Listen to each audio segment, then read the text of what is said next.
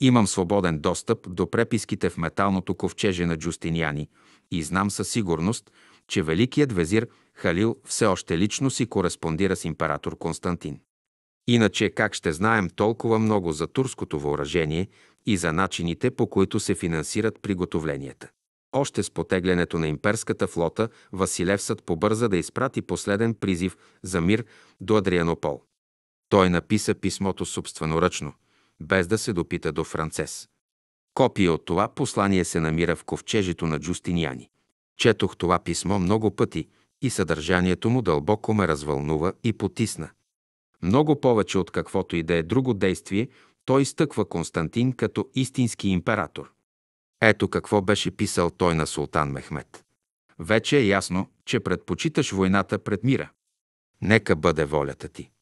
Неуспешни се оказаха опитите ми да те уверя в мирните си намерения. Макар, че доказах своята искреност и се съгласих дори да ти стана васал. Не ми остава нищо друго, освен да се обърна за помощ към Бога. Ако той е решил да предаде града в ръцете ти, аз как ли бих могъл да му се противопоставя? Ако той накара сърцето ти да приеме мира, аз ще се радвам. Но сега те освобождавам от всички обещания и споразумения, що си подписал с мен. Зазидал съм портите на моя град и ще се бия за народа си до последна капка кръв. Царувай щастливо до деня, в който справедливият Бог, нашият Всевиш съдия, ще ни повика и двамата пред себе си. Това е сухо послание, без обичайната гръцка словесна изящност и без ловките увъртания на Францес, но въпреки това ме сломява. То е истинско писмо на император, но е безсмислено. Ах, колко е безсмислено! Мехмед не ще отговори. Но може би Константин, седейки в обезлюдения Влахернски палат, пишеше най-вече за поколенията и може би в своята простота то го представяше по-вярно и от най-точните исторически писания. Не е негова вина, че се е родил под нещастна звезда. 13 февруари 1453. Флотата не се е завърнала, а край морския бряг палатът на Лукас Нотарас все така безмълвно варди тайните си. Не издържам повече тази несигурност. Ето, вече две седмици, откакто се видяхме, а аз даже не знам дали тя все още е в града. Напразно препускам надлъж и нашир из града и около крепостните стени. Напразно се опитвам да потопя неспокойствието на душата си в работа. Не мога да я забравя. Горящите й очи ме преследват в съня ми. Нейната честолюбивост и гордо упорство изгарят сърцето ми. Какво от това, че е дъщеря на Коропалат и сръбска принцеса? Какво от това, че родът ти е по-древен от този на императора? Аз съм син на баща си. На 40 години. Вярвах, че съм достигнал есента на своя живот. Защо не опитам да я срещна? Само тези кратки денонощия ни остават. Времето безвъзвратно отлита. Бързо като стрели летят дните в приготовление, учения, описване на запасите и пустота.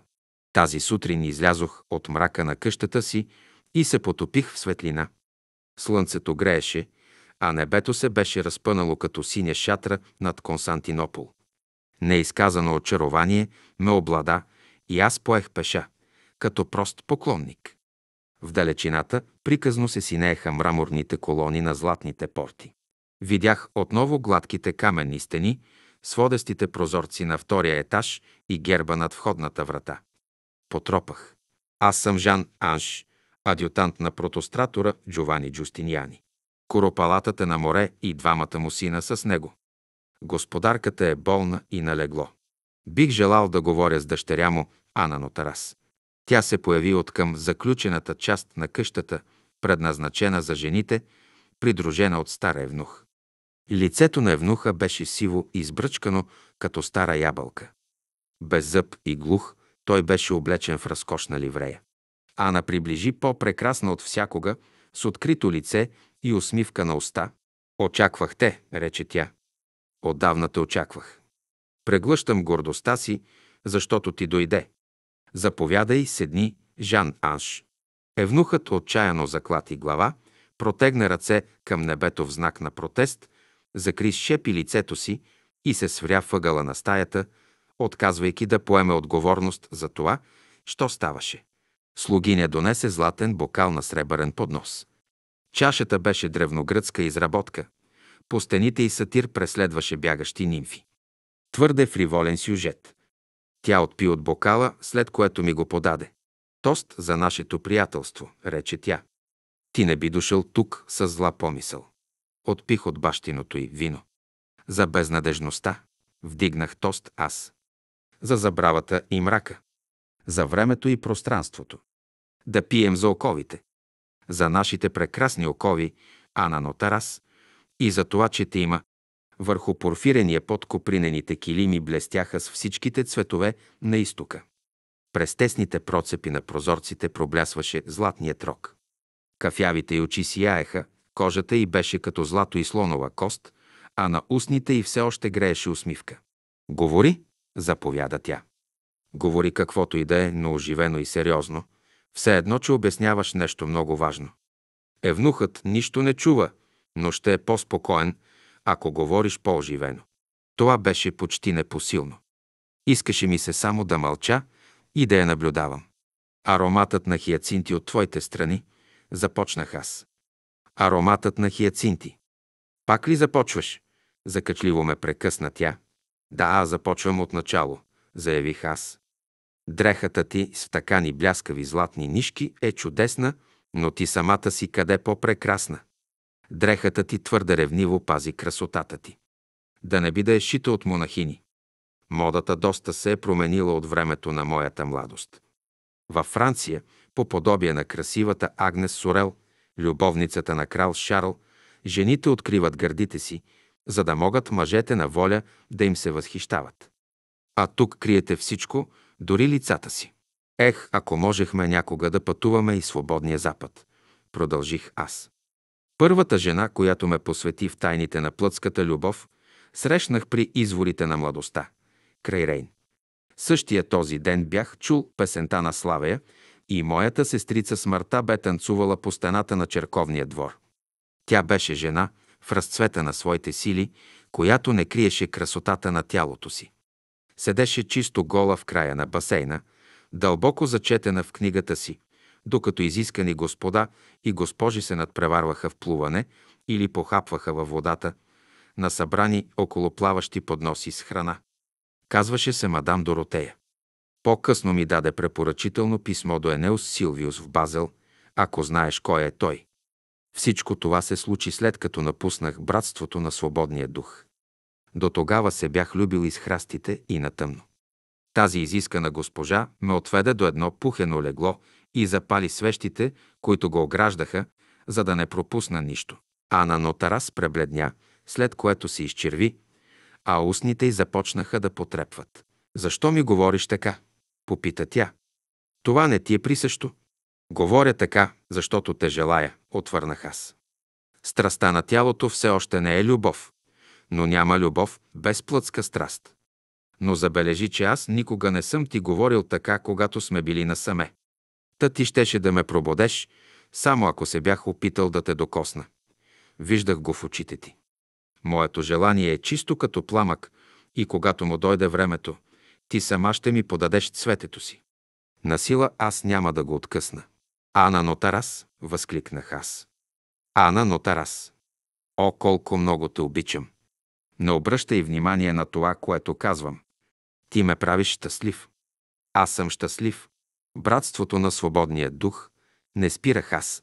Признава само четирите Евангелия и отрича кръщението, и всичко е притежание на всеки.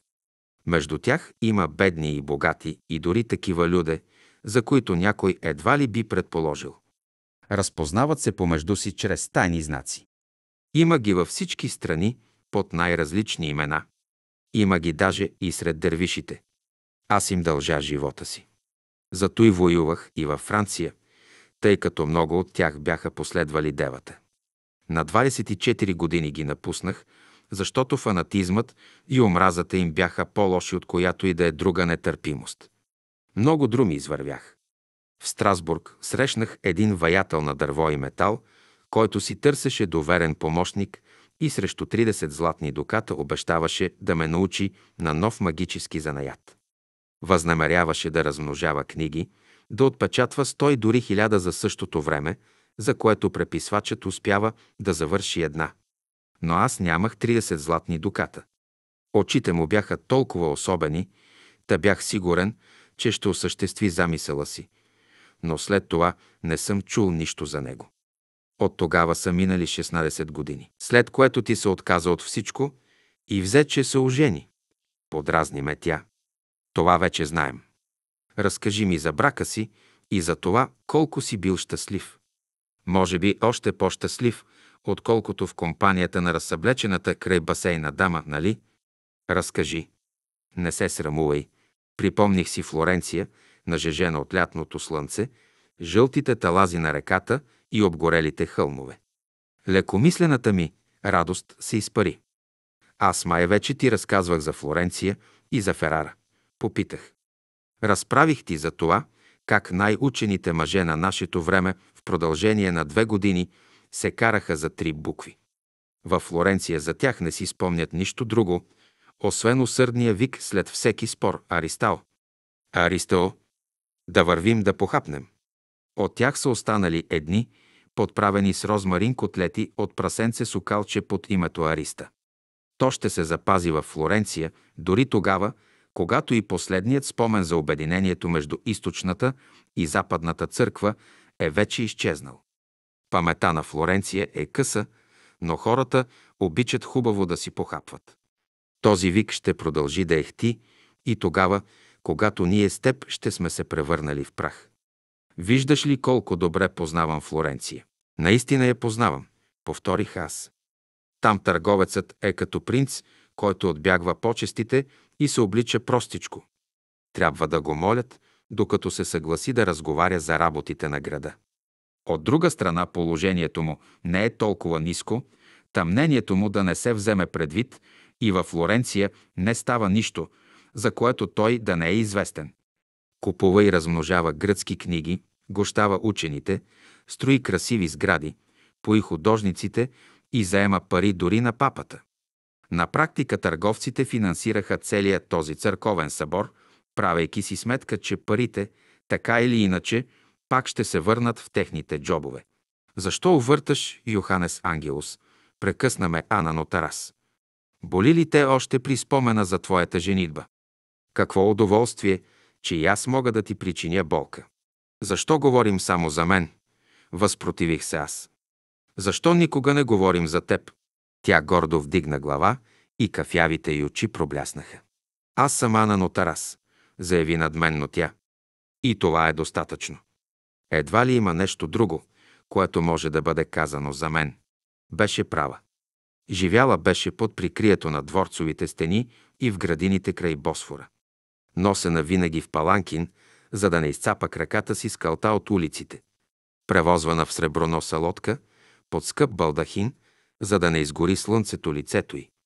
Древните философи са били нейни учители, а тя разсеяно е разгръщала страниците на огромни книги и се е наслаждавала на рисунките, изографисани с цинобър, злато и синьо.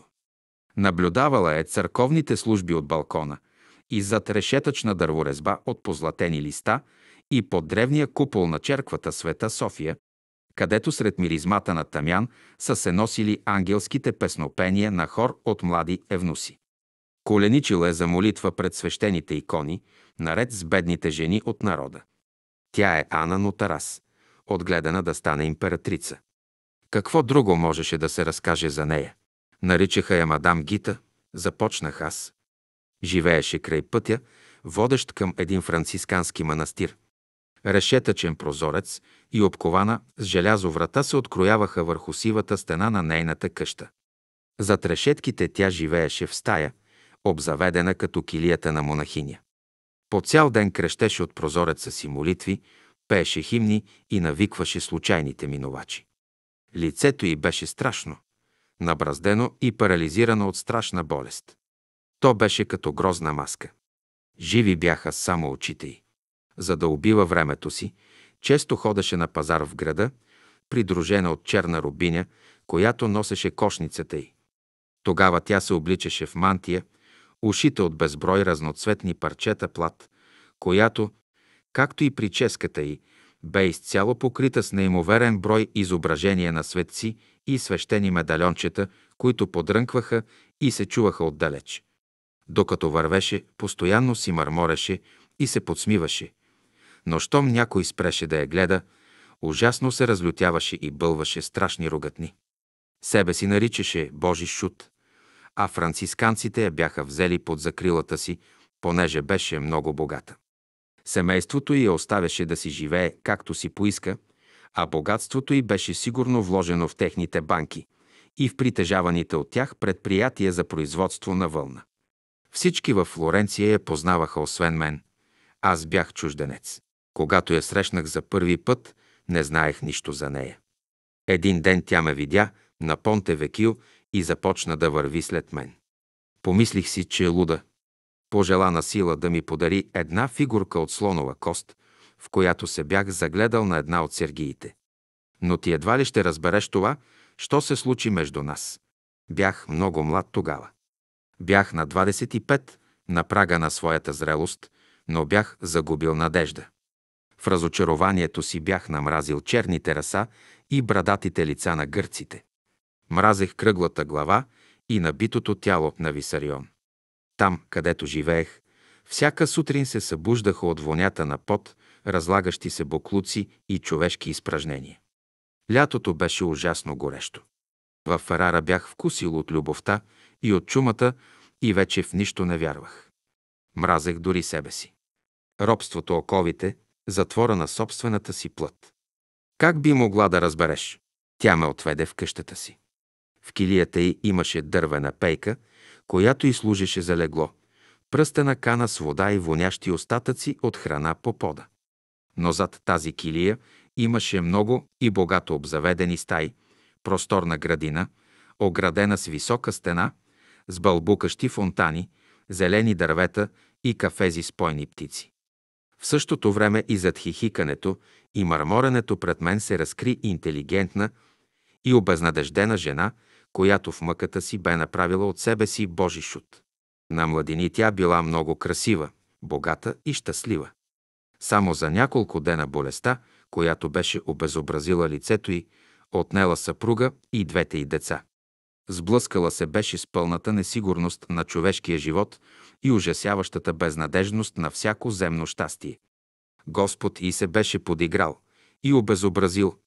За известно време не била на себе си, но след като се оправила, продължила да се преструва на луда от отчаяние и от желание да се противопостави на хората и на Бога. Богохулстваше, когато се молеше, и се молеше, когато богохулстваше. Не, съмнявам се, че ще разбереш. Беше само на 35, но лицето й я правеше да изглежда като старица. Устните й бяха напукани, а щом започнеше да говори, въглите на устните й се появяваше пяна. Ана Нотарас бе свела очи и докато ме слушаше, кършеше пръстите на ръцете си. Дневната светлина играеше по червено-черните фигури на килима. Въгъла евнухът с бръчканото сиво лице местеше очи ту към мен, ту към нея, мърмореше и се мъчеше по устните ми да отгатне за какво говоря. Аз продължих. Тя ме нахрани и ми даде да пие. Очите й жадно поглъщаха лицето ми. След като я посетих няколко пъти и разговарях с нея, сърцето ми се изпълни с състрадание. Състраданието не е любов, а на нотарас, но понякога любовта може да бъде състрадание, така както само с присъствието си едно човешко същество може да покаже съжаление спрямо друго. Спомни си, че по това време аз още не знаех за богатството й.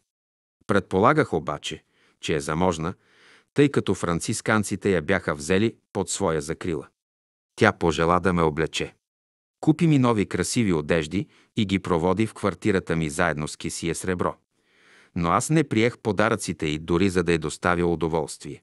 Тогава един ден тя ми показа портрет от своята младост.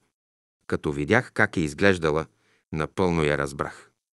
След като беше разбил щастието й, Господ я беше затворил в ада на собственото й тяло. Виждайки ме на моста, тя лудо се беше влюбила в мен и ме желаеше, макар че в началото не смееше да го признае. Но както и да е, отсякох аз горещен от срам. Легнах с нея. Съжалих я с тялото си, тъй като не отдавах голямо значение на това, що беше свързано с плата. Споделих нейния ад и мислех, че върша добро. Три нощи поред. След което продадох всичко, което притежавах. Чиновническите си одежди, дори любимия Омир, раздадох парите си на бедните и избягах от Флоренция. Но Божията присъда ме застигна още същата есен по склоновете на планината Асизи. Мадам Гита бе пътувала последите ми в своя паланкин, придружена от един францискански отец и от един много вещ адвокат. Аз бях брадясъл, мръсен и неогледен. Тя ме накара да се измия, да се избръсна и да облека чисти дрехи, след което бяхме венчани в Асизи. Беше забременяла от мен и смяташе това за Божие знамение. Чак тогава разбрах коя, и каква примка Бог беше надянал на шията ми. Не можех да седя повече на едно място и станах на крака. Погледнах през зеленикавото стъкло на прозореца към страховитите зъбари на вълнолома и зад които проблясваше мармара. Предупредиха ме да не посещавам тази къща, рекох аз. Вероятно ще ме затворят в мраморната кула заради това ми посещение и дори постът ми при Джустиняни няма да ми помогне. Но аз съм вече във властта ти, тъй като тази част от живота ми не е известна на никой друг, освен на теб. Разбираш ли, Ана Нотарас, мадам Гита е от рода на бардите и след като се ожених за нея, аз станах един от най-богатите мъже в Флоренция. Само името е достатъчно и всеки обманител на пари от Антверпен до Кайро и от Дамаск до Толедо ще започне дълбоко да ми се кланя. Колко трябваше да плати на отците и на папата, за да запази себе си, богатството и женитбата си от собствените си роднини, не искам и да знам. Документите, които ме свързваха с баща ми, бяха все още у Героламо, златаря, а той отказваше да признае даже, че ги е получавал. Но адвокатът се справи с всички трудности и аз получих ново име. Жан Нанж беше забравен. От начало до раждането на нашия син, ние се настанихме в Фиесол, където беше нейната къща. С брада, с накъдрена коса, облечен като благородник и с рапира на бедрото, никой не можеше да познае в мен бившия беден френски чиновник от Светия Синод. Четири години издържах на този живот.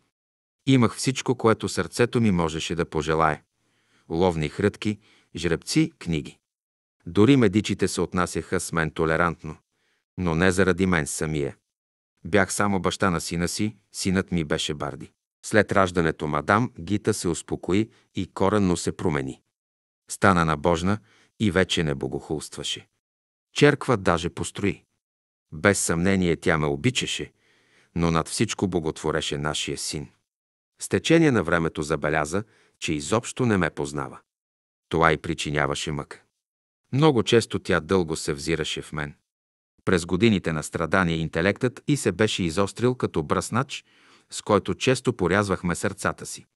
Аз изучавах астрономия при известния Тосканели, четях старогръцките философи, но през цялото това време дълбоко в сърцето си знаех, че този живот не е за мен. Издържах цели 4 години, след което приех кръста и съпроводих Юлиус Цезарини до Унгария.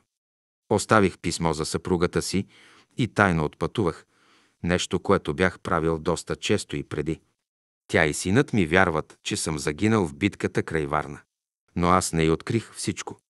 Не й казах, че преди да отпътувам за Унгария се отбих в Авиньон, хванах Героламо за брадата и опрях кинжала си в гърлото му. За това не разказах, нито пък имах намерение изобщо някога да го споменавам. То е тайна, която е само между мен и Господа, защото Героламо не умееше да чете гръцки и не бе посмял да покаже документите на хора, които владеят този език. Какво повече можех да й кажа? Женитбата ми беше предопределена от Бога. Продължих аз.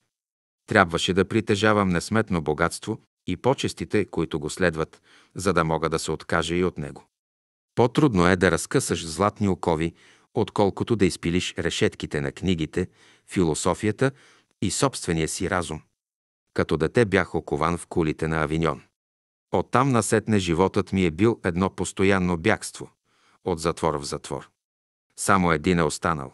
Затворът на собственото ми тяло, на познанието, на волята, на сърцето, но знам, че скоро ще бъда свободен. Много скоро. Ана Нотарас леко поклати глава.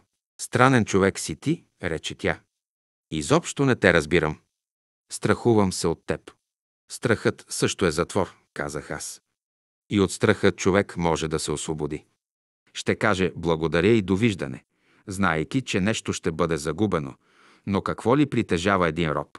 Ами аз попита плахо тя. Защо изобщо дойде при мен? Изборът е твой, а не мой, отвърнах аз. Това е толкова просто. Тя стисна здраво пръстите на ръцете си, разтърси глава и отсече. Не, не. Не мислиш това, що казваш. Аз свих рамене. Защо мислиш, че ти разказах толкова много за себе си? За да убивам времето или за да се правя на интересен? Мислех, че добре ме познаваш. Не. Искам да ти покажа, че нищо не е такова, за каквото го мислиш или за каквото са те възпитали да вярваш. Богатство и мизерия, власт и страх, чест и позор, мъдрост и невежество, добро и зло, нищо само по себе си не е от значение. Единственото, което има смисъл, е какво правим от себе си и какви искаме да бъдем. Единственият истински грях е да отричаш, когато истината е известна. Аз съм се освободил от всичко. На практика аз съм никой. И за мен това е най-висшето, до което смъртните могат да се докоснат. Това безметежно усещане на сила и власт. Друго не мога да ти предложа. Изборът е твой. Тя дълбоко се развълнува. Устните й станяха и станаха съвсем бели. В очите й засвятка омраза. Имаш син, натърти тя. На 13 години или повече. Щом като се имаш за толкова извисен, защо не си при него да го възпитаваш, тъй от него да стане никой? Той е твоя плът и кръв. Поведи него по пътя си, а не мен. Не, не, възразих аз. Защо ще искам да навредя на собствения си син? Той е Барди. Нека бъде по-човешки щастлив. Освен това, ни един баща не може да възпита сина си по свое подобие. Това е само иллюзия. Дълбоко в сърцето си всеки баща мрази сина си, а синът баща си.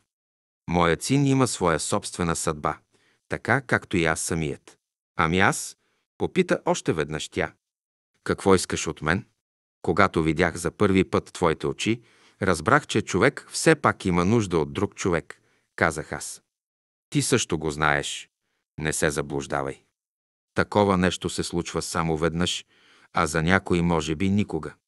Разкрих ти живота си, за да ти покажа, че всичко, което си имала или си смятала за свое притежание, е иллюзорно и несигурно. Не ще загубиш нищо, ако се откажеш от всичко. Така или иначе с идването на турците ще бъдеш принудена да загубиш много. Заради теб самата се надявам, че в сърцето си вече си се простила с всичко, с което ще трябва да се разделиш. Думи, думи, извика тя и потрепери. Всичко това са само думи. И на мене ми е досадило от много приказки, съгласих се аз. Но как да те взема в прегръдките си пред очите на твоя евнух? В моите прегръдки ще разбереш всичко и тогава няма да имаме нужда от приказки. Ти си луд, рече тя, и се отдръпна от мен, но очите ни се срещнаха както пред света София. Открито и прямо. Ана, любима моя, заклех и аз. Времето ни е на свършване и пясъчният часовник вече съвсем се е изпразнил. Щом те видях за първи път, разбрах, че това е трябвало да се случи. Възможно е да сме се срещали и в предишните си животи. Но само за едно можем да бъдем сигурни. Предопределено е било да се срещнем сега. Може би това е единственият ни шанс. Единственото място и време в цялата Вселена, отредено за нашата среща. Защо се колебаеш? Защо се самоизмамваш? Тя вдигна ръка и я постави на очите си. Така се завърна в дома си, при своите килими, порфирени плочки и прозорци, в своето собствено време. Завърна се при своето възпитание и при нещата, които познаваше. Баща ми стои между нас, изрече тежко тя. Бях загубил. Аз също се върнах във времето. Той отплава с корабите си в морето. Защо? Защо? повтори тя. И ти питаш защо? Защото му омръзна от некомпетентната и безпомощна политика на императора. Защото той няма да преклони глава пред султана, както Константин. Щом като сме във война, трябва да се бием смело. Защо ли питаш? Защото той е единственият истински мъж в този град. Единственият истински грък. Той не се оповава на латинската помощ, а само на себе си и на своите дромони. Какво можех да отвърна? Права или не, тя обичаше своя баща. Та нали беше Ана Нотарас? Значи вече си избрала, казах аз. Възнамеряваш да кажеш на баща си за мен? Да, така съм решила, отвърна прямо тя. Ще кажа на баща си за теб. Доброволно бях влязъл в капан. Не продумах повече ни дума, не желаях дори да я погледна. Но даже това е предопределено. 15 февруари 1453. Вчера флотата се завърна. Не липсваше нито един дромон. Моряците биеха тъпани, надуваха фанфари и развяваха хоругви. Малките бронзови топове гръмнаха почетен салют. Народ се стече на пристанището и замаха с бели кърпи от крепостните стени. Днес на пазара продават турски роби. Рибари, брадати старци, слабички момченца и ридаещи жени, които се опитват с дрипите от дрехите си да прикрият своите лица. Да, Коропалат Лукас Нотарас бе спечелил блестяща победа. Беше успял да изненада жителите на няколко малки турски села, разположени от към азиатската част на Мармара, и да ги зароби. Хората от другите села бяха успели да избягат, но той бе изгорил каштурките им до основи. След което беше преплавал чак до Галиполи и бе потопил един турски търговски кораб. Върнал се беше в пристанището веднага след като агарянските бойни кораби бяха излезли в открито море да го срещнат. Каква радост! С какво усърдие въздаваха почет на гръцките моряци! И как само скандираха името на Коропалата, когато той самият премина на кон по улиците на града. Джустиниани и латинците бяха засенчени. Лукас Нотарас бе героят на деня. Но днес на робския пазар никой не започна да надава за турските пленници. Никой не се подигра с тях, никой не подхвърли обидна дума дори. Любопитните бързо се разпръснаха. Хората свеждаха очи от срам пред тези беззащитни бедняци, които, шепнейки цитати от Корана, за да си дават кораж, се бяха вкопчили един в друг. 18 февруари 1453 Адриано Пол откликна веднага. Султан Мехмед прочел публично писмото на император Константин като доказателство за предателската натура на гърците, след което го стъпкал с крака. Бързоноги султански вестири, обути в железни обувки, са разпратени по всички османски градове. Дервиши и имами проповядват отмъщение. Партията на мира е принудена да се отстрани. Мехмед дори призовава Запада за свидетел. Гърците пристъпват една след друга дадените от тях клетви и споразумения, а когато император Константин предаде църквата си на папата, бяха разкъсани и последните връзки между гърци и турци. Неговата единствена цел е да насъска западните страни срещу турската държава. С измамни слова и фалшива искреност той се опитва да прикрие коварните си замисли. Но обхванатите от пламъци османски села по бреговете на Мармара осветяват и разобличават варварските му намерения. Византийската поход по нови и нови завоевания е заплаха за нашето съществуване, а гръцкото коварство и жестокост предизвикват оправдано желание за мъст. За да се сложи край на това потисничество и за да се освободим от тази спотаена гръцка заплаха, всеки правоверен е длъжен да се вдигне на свещена война. Този, който все още оправдава гърците, е предател и враг на собствения си народ. Справедливият султански ятаган ще се вдигне, за да отмъсти за посечените, изтезаваните, заробените и изгорените живи наши братя. За да изличи всеки намек за нерешителност, султанът бе наредил имената на всички изклани от гърците турци да бъдат четени в петъчната служба от минаретата на всички джамии.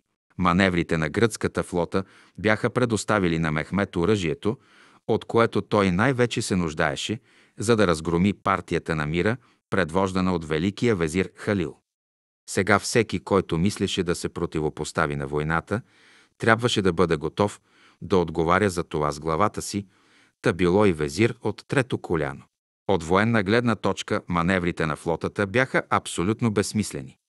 Те само разбудиха пазещите пролива, така че вече нито един кораб не ще може тайно да се промъкне и да отнесе императорските молби за помощ до западните страни. Макар че каква ли полза от тези молби? Та нали все напразно неговите пратеници са коленичили с сълзи в очите пред европейските владетели. Западът е известен за смъртната опасност над Константинопол, но се отнася към това с завидна безотговорност, въпреки че под стените на този град се решава съдбата на цяла Европа. Събирането на дивана в Адрианопол формално е все още тайна. Но сега целият свят знае за войната. Султан Мехмед е изгорил всички мостове зад гърба си. Път за отстъпление няма. В тези ветровити февруарски вечери той обикаля Адрианопол, предрешен като обикновен войник и придружен от доверените си люде. Промъква се на празненствата по обрязването на момчетата, на сватбите и погребенията, за да научи какво говорят хората за него. Подозрителен е, не се доверява на никого и крие мислите си от всички. Ако някой има нещастието да го познае, заповядва веднага да го убият. Познавам неговия нрав. Най-добре мисли нощем, а безпокойството го прогонва от постелята му. Само, че аз вече не го съпровождам. 21 февруари 1453. Бурен и необикновен месец е февруари.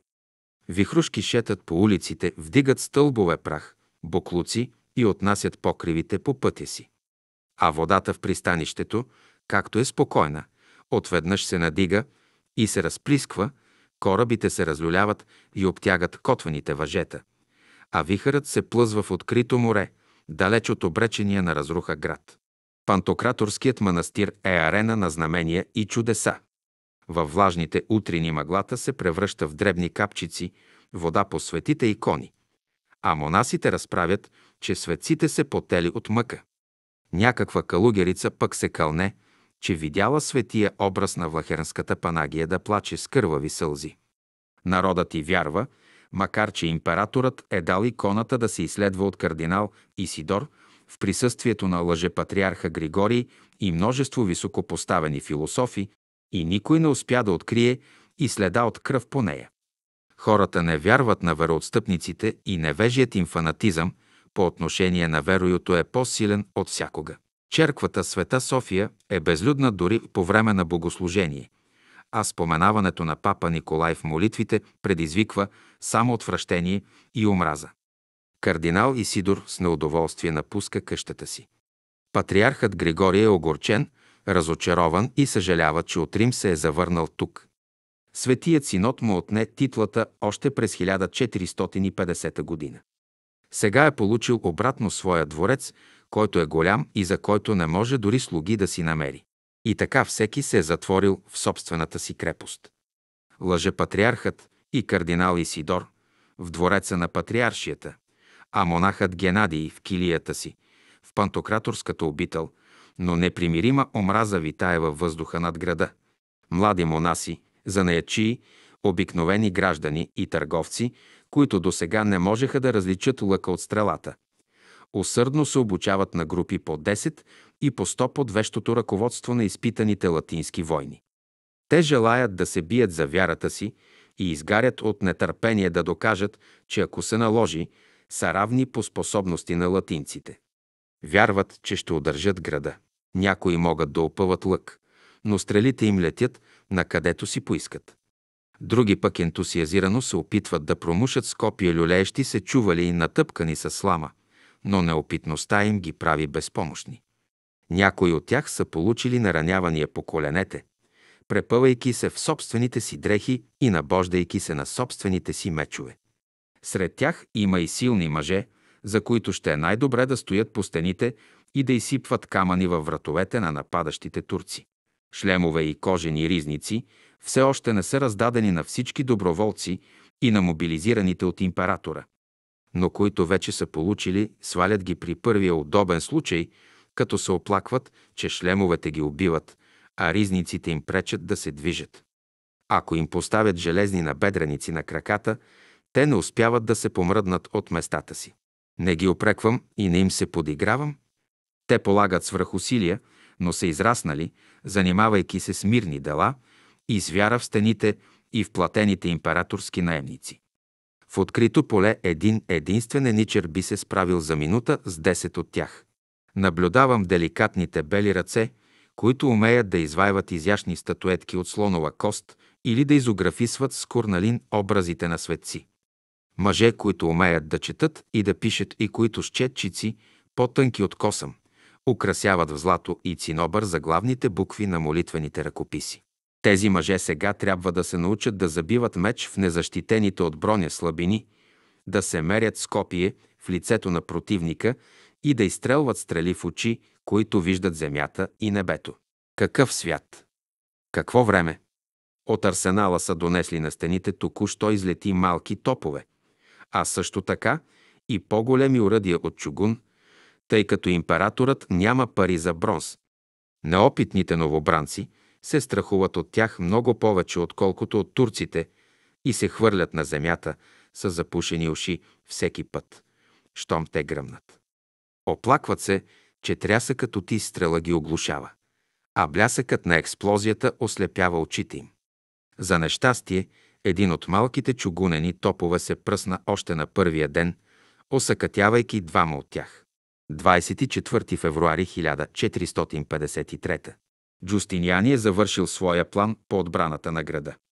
Разделил е латинците по народности и ги е разпределил по най-слабите места на крепостните стени и около портите. Венецианци и генуесци ще се надпреварват помежду си за слава и дори от пера са дошли млади мъже, за да се запишат във войската на протостратора. Съвестта им ги кара да се срамуват от неутралитета в тази война, която в крайна сметка ще реши и съдбата на целия Запад. Джустиниани се уповава единствено на своите латинци и на императорските топчии. С останалите гърци е запълнил празнините по стените, но и те са много необходими. Та нали само от към сушата голямата стена е дълга 10 000 стъпки и има 100 кули. Стените от към морето и пристанището в огромния триъгълник на отбраната са също толкова дълги, но едва ли ще станат обект на сериозно нападение. Пристанището се пази от западните бойни кораби, които превъзхождат турските, докато стената от към морето едва ли ще бъде изобщо нападната. С гръцки огън лесно могат да бъдат подпалени леките турски плавателни съдове на разстояние хвърля и стрела. Императорските топчии са приготвили за тази цел специални амуниции, които са като малки летящи топки, но като военна тайна ревниво ги пазят и не ги доверяват на латинците. Във всеки случай Джустиниани очаква големите сражения да се проведат по стената от към сушата. По средата й се намира портата на Свети Роман в долината Ликус. За защитата е определил себе си и облечените от главата до петите в броня генуесци. Оттам може, ако стане необходимо, бързо да се притече на помощ в другите сектори. Но окончателното разпределение на силите ще зависи най-вече от султанския план за превземането на града. Преди 30 години, при обсадата на Константинопол, султан Мурат беше опънал шатрата си на един байр срещу пората на Свети Роман. И тогава тази част на стената беше от най-штурмуваните. Но по онова време турците все още нямаха топове. Най-голямата паника по подготовката вече преминава. Стените все още се заздравяват, но сега всеки мъж с точност до часа знае какво трябва да върши. По същия начин протичат и военните упражнения, макар че обедната почивка дълго се проточва, тъй като градът е голям, а доброволците трябва да обядват по къщите си. Джустиниани се е отказал от протритите кожени панталони. Накъдрил е косата си по гръцки маниер, боядисал е брадата си червена и е накарал да вплетат в нея златни нишки. Той обаче не боядисва краищата на очите си в синьо и не червосва устните си, както правят младите императорски стратори. Затова пък се е накичил с златна огърлица и е започнал да се чувства удобно в компанията на гърци. Благородните дами от Влахеренския палат са започнали да се отнасят ласкаво с него. Та нали е огромен и силен мъж, с една глава по-висок от гърците. На гръдните си доспехи лъска така, че блестят като огледало, а вечер заменя подарената му от императора протостраторска огърлица с огърлица от аметисти, като се надява, че тези камъни няма да му позволят да се напие. Императорът е потвърдил с Хрисовола своето обещание да му подари остров Лемнос като наследствено имение и титлата стратег, ако успее да отблъсне турците. Само печатът върху нея струва много безанта и Константин собственоръчно е поставил с цинобър своя троен кръст върху документа. След морските маневри Коропалат, Лукас Нотарас се е затворил в къщата си. По настояване на Джустиниани императорът строго му е забранил да излиза на своя глава с дромоните от пристанището. От своя страна той упорито настоява, че е постъпил съвсем правилно и обвинява Константин в страхливост и в това, че прекалено превъзнася латинците. Дала е също така да се разбере, че очаква Джустиниани да се допита до него по въпроса за защитата на града и разположението на силите. Като велик стратег и върховен адмирал на императорската флота, той счита себе си, ако не друго, то поне равен на Джустиниани, без да взема предвид неговата протостраторска титла. Но най-вече любопитства да узнае каква роля му е определена в отбраната на града. Не може да бъде пренебрегнат. Той е твърде високопоставен и влиятелен. Латинските капитани обаче запазват властта си над собствените си кораби и са пряко подчинени на императора. В крайна сметка под командата на Лукас Нотарас са само онези пет раздрънкани и бавни дромона, които също са притежание на императора, но са ремонтирани и приведени в бойна готовност с парите на коропалата. Въпреки популярността, която спечели сред народа. Тези дни той е доста самотен. Този Лукас Нотарас. И то по отношение на Влахернския палат. Джустиниани нарочно го кара да чака. Той е авантюрист издигнат в протостратор, и за той може би отдава по-голямо значение на титлите, отколкото един наследствен велик стратег. Дали и тук се започва това ужасно детинско съперничество, що кара мъжете да мерят с дървен аршин височината на троновете си. Всъщност градът е изцяло в латински ръце и гърците нямат никаква власт, макар че императорът като че ли все още не проумява този факт. Латинските кораби контролират пристанището, а Джустиняни с облечените си в броня войници владее всички по-важни точки по стените и в града. Възможно ли е и той да си има някакви тайни политически планове? С женско посредничество си е създал контакти сред най-влиятелните от благоразположените към латинците гръцки среди. Ако турците не успеят и ако султан Мехмед претърпи поражение, в случай, че флотилиите на папата и Венеция пристигнат на време. Константинопол няма да е нищо друго, освен една латинска база за завладяване на Черно море и за покоряване на разпадащата се турска империя. Унията е вече провъзгласена. Ще се възстанови ли наново Латинската империя, та дори и гръцкият император да запази своя трон, дали победителят ще се задоволи с васалния остров Лемнос и с титлата стратег. Гръцката ми кръв в нищо не вярва. Това е кръвта на съмнението на хилядолетните политически интриги.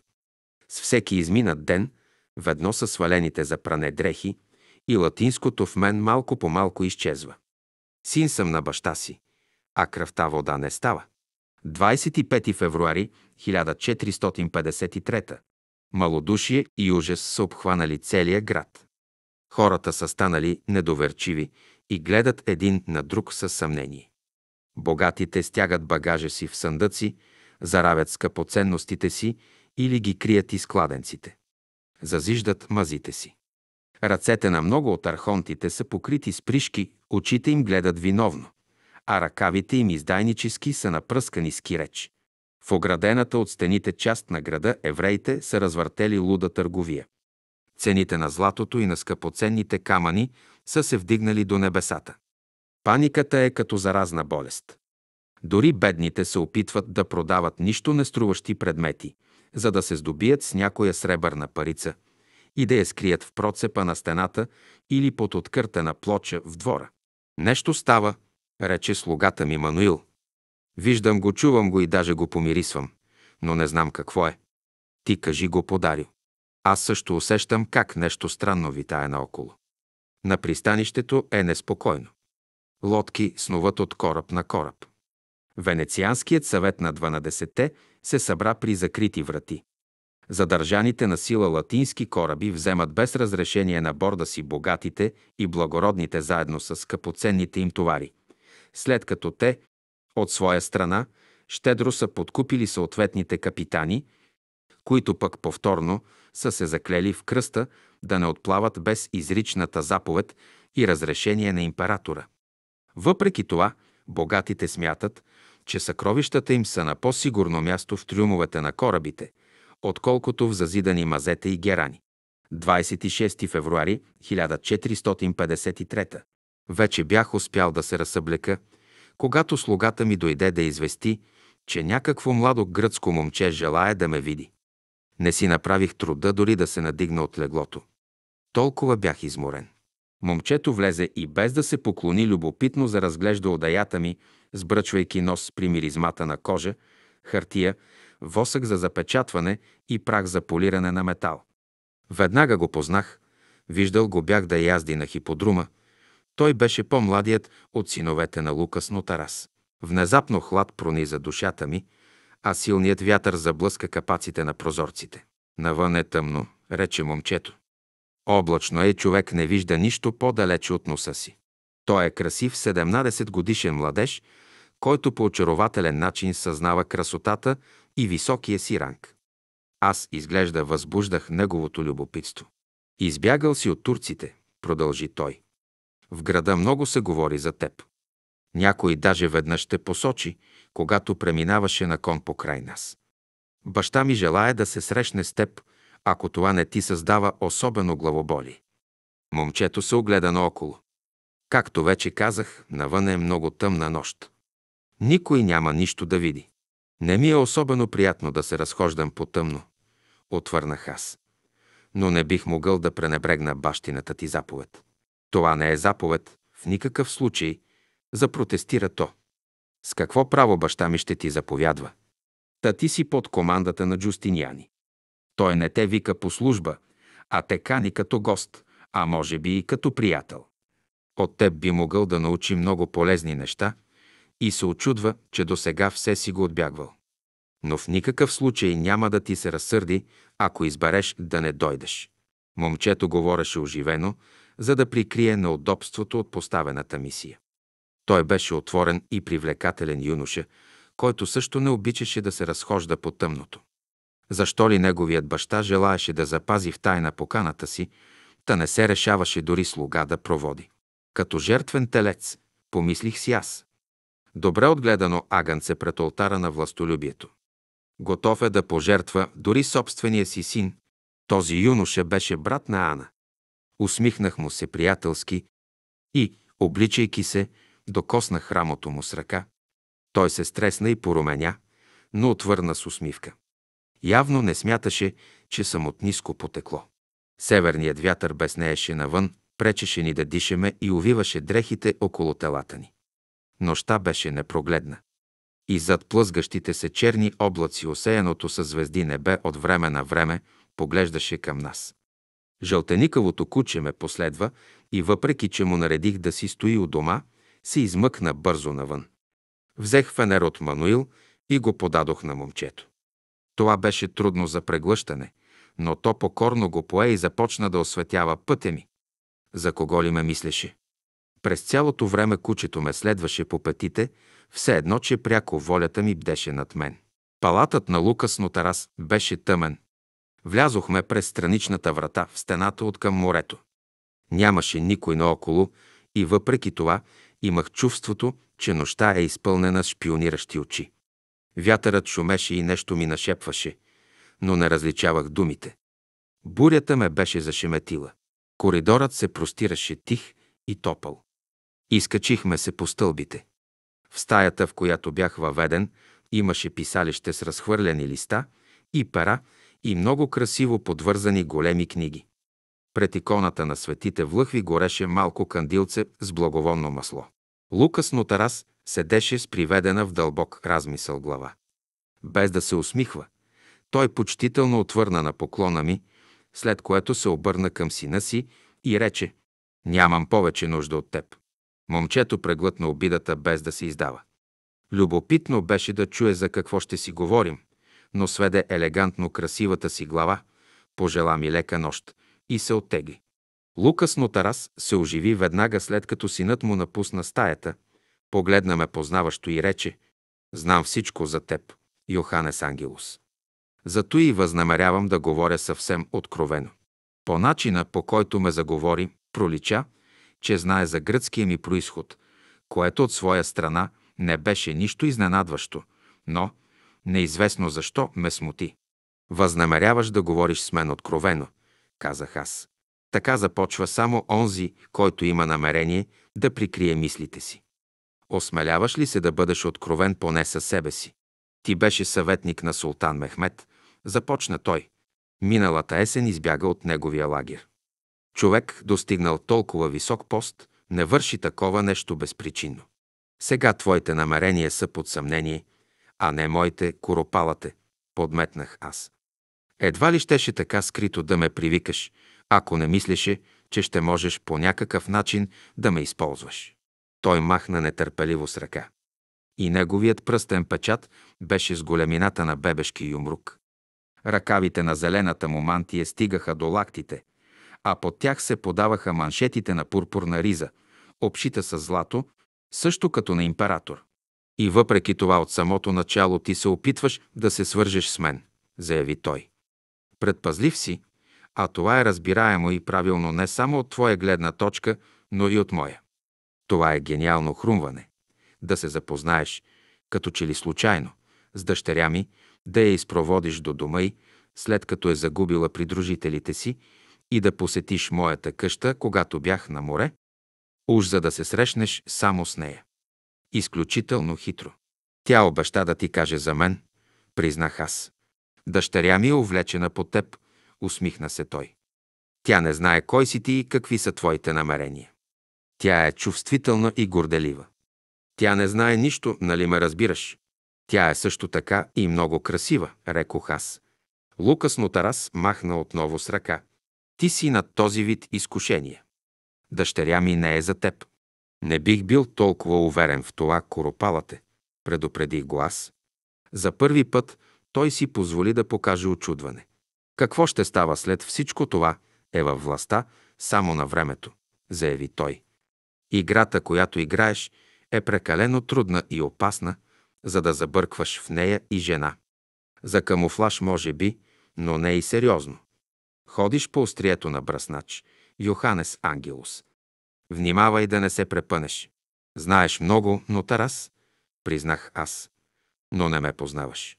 Наистина знам много, похвали се той. Повече, отколкото предполагаш. Дори шатрата на твоя султан не е безопасно за разговори място. Уши има и тук, навсякъде. Знам, че си се разделил с Мехмед без лоши чувства и че ти е подарил турбичка с скъпоценни камъни на раздяла. За съжаление, това е станало достояние и на Василевса, и на пазителя на печата Францес. Зато и от самото ти идване в града те следят всяка твоя крачка. Не искам да знам колко си платил на Джустиниани, за да те вземе при себе си. Всички латинци са подкупни.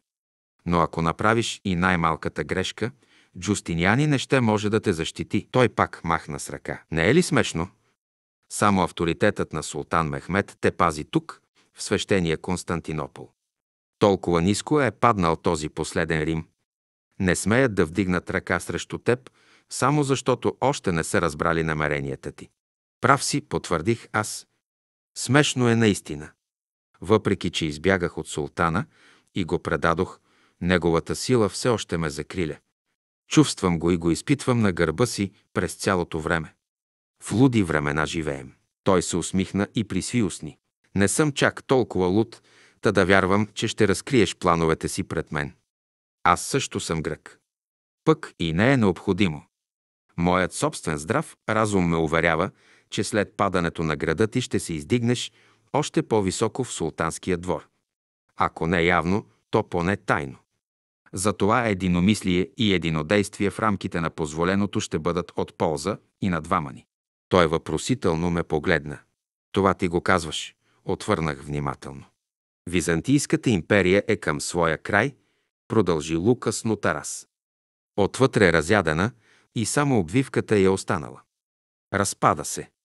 При това положение Константинопол не може да продължава своето самотно съществуване. Пропусна сгодния момент, подметнах. Защо не събра народа около себе си, когато провъзгласиха унията? Защо не го вдигна на бунт? След което можеше доброволно да предадеш града на султана. Той разтърси глава и отсече. Не! Народът е бавен и късоглед. Фанатизиран от вярата и уповаващ се на светата Панагия, той щеше да затвори вратите пред султана и да се отдави в собствената си кръв. Без помощта на латинците щеше да е още по-лесна плячка за Мехмет. Вдигането на бунт щеше да бъде непростима политическа глупост. Освен това, продължи той, султанът желае с меч да завладее града, за да може сам да налага своите условия. Доброволна капитулация ще го задължи да подпише споразумения и договорености. А той не желае това. Та нали дори Константин би се съгласил формално да му стане васал и да му плаща данъци. Но такова разрешение на проблема не го задоволява. Не съм ли прав? Тъй като не отвърнах, той вдигна два пръста. Има само две възможности. Или обсадата ще успее и Мехмед ще превземе с пристъп града. Или ще се провали и Константинопол ще се превърне за вечни времена в латинска колония. Но Тарас стана, изпъчи се и повиши тон. И преди сме вкусвали от латинското господство. То продължи само едно поколение, но 300 години. След това Константинопол все още не се е съвзел от него.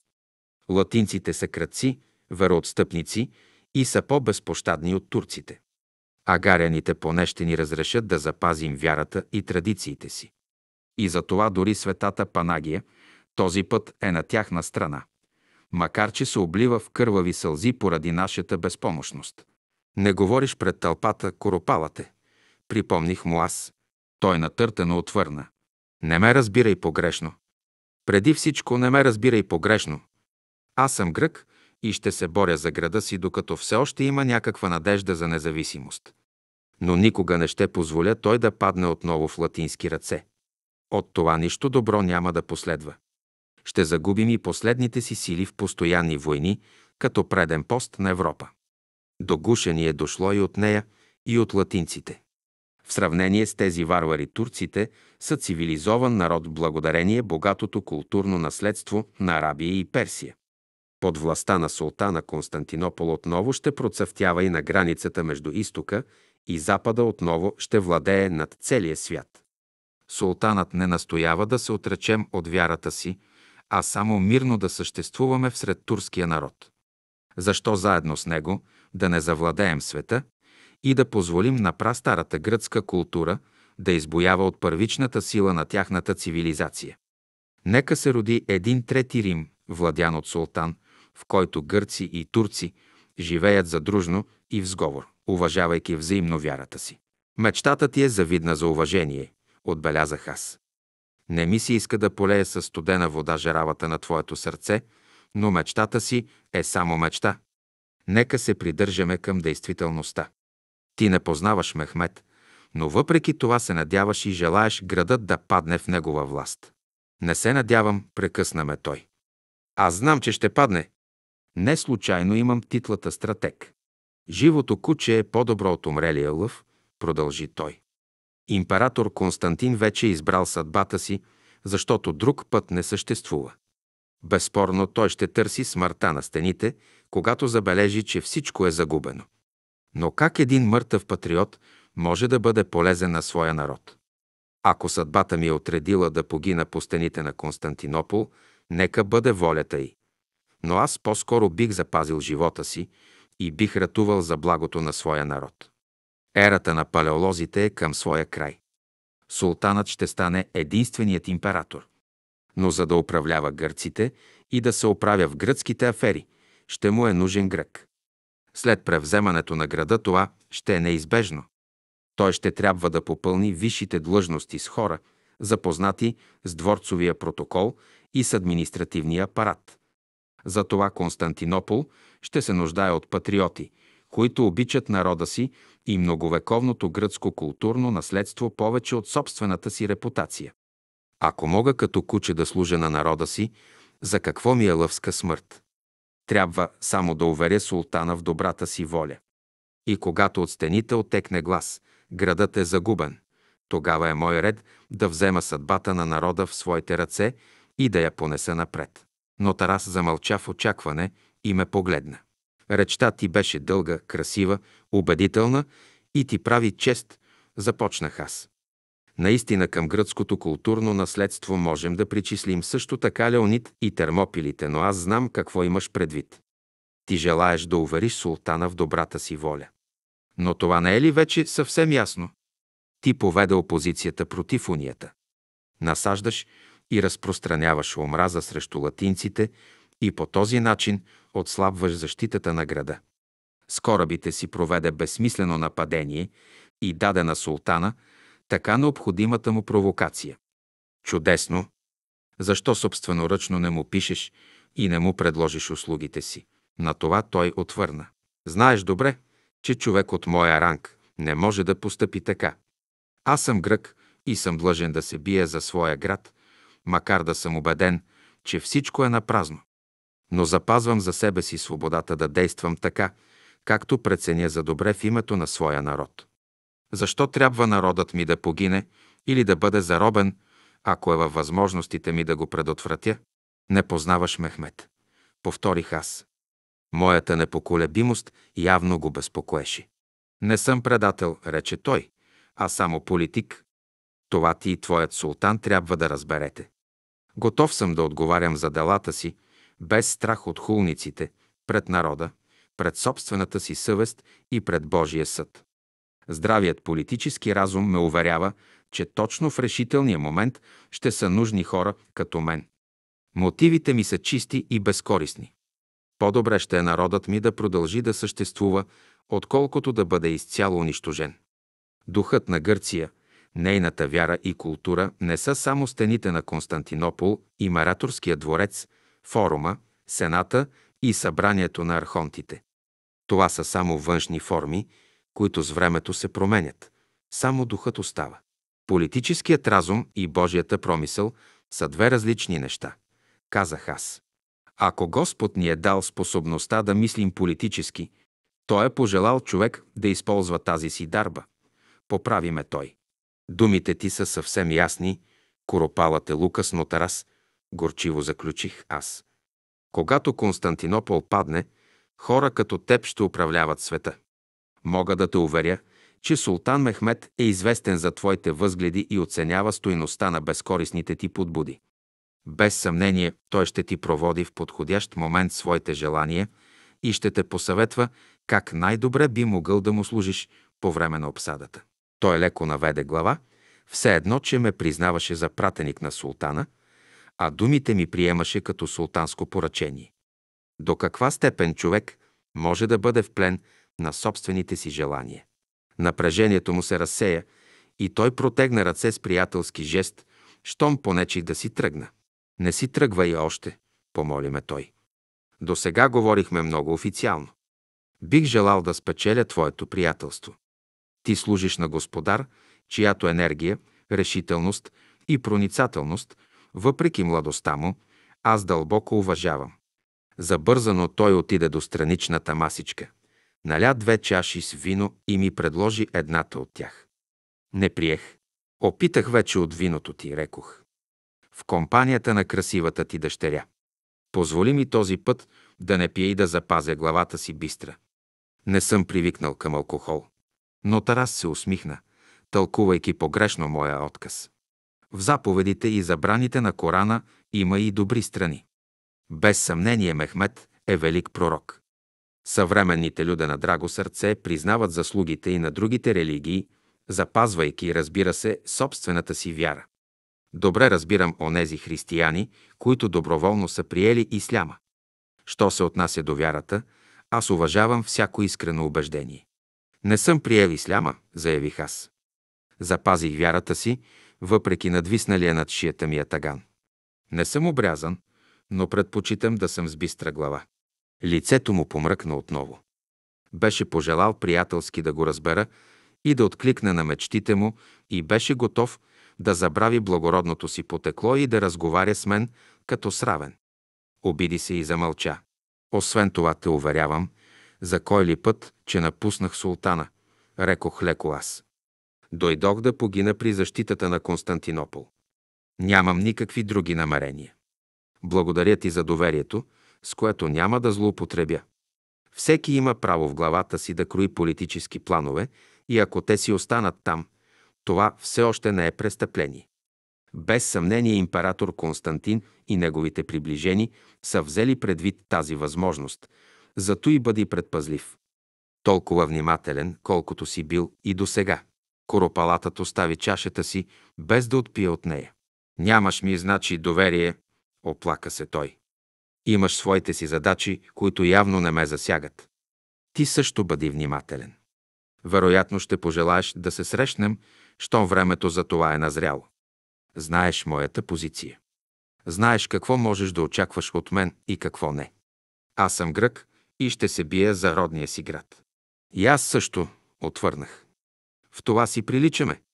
И двамата възнамеряваме да се бием, макар да знаем, че Константинопол ще падне. Не се надяваме на чудеса. Времената са други, призна той. Не се случват вече чудеса.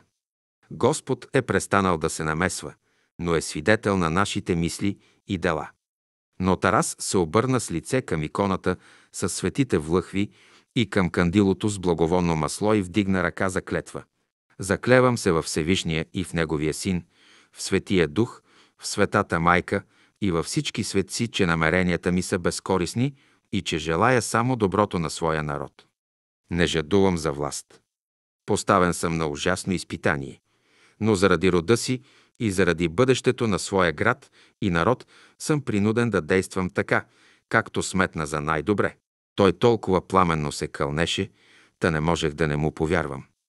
Не е, значи, само пресметлив политик, а вярва истински, че постъпва правилно. Отстранен и обиден, с накърнена гордост, мрази латинците и затова е сътворил този свой блян и вярва в него. Фанатично, сляпо и пламенно, както онази простичка монахиня, която вярваше, че е видяла Богородица да плаче с кървави сълзи. Ще позволиш ли, попитах аз, още веднъж да се срещна с дъщеря ти Ана Нотарас? Какъв е смисълът от всичко това? Изненадано запита той. Само ще предизвикаш ненужно любопитство. Как би могла тя да се покаже в компанията на човек, когато всички смятат, че е таен пратеник на султана? Все още не са ме затворили в мраморната кула. Отвърнах аз. И ако Джустиняни може да се забавлява в компанията на знатните дами от Влахерския палат, то защо аз да не мога да покажа уважението си към дъщерята на Коропалата? Дъщеря ми трябва да пази своята репутация, хладно и твърдо заяви той. Времената се менят, настоях аз. Заедно с латинците са дошли и по-свободните нрави, присъщи на Запада. Дъщеря ти е пълнолетна и знаеш, що върши. Защо не позволиш певци и музиканти да я веселят? Защо да не яздя до нея, когато отива на черква? Защо в някой слънчев ден да не я повозя с гребна лодка из пристанището? Твоята къща е толкова мрачна. Защо я лишаваш от малкото радост и веселие, преди да са настъпили дните на страдание? Какво имаш против мен, коропалате? Той махна с ръка и рече, много е късно за това. Тези дни изпращам дъщеря си извън града. Наведох глава, за да прикрия лицето си.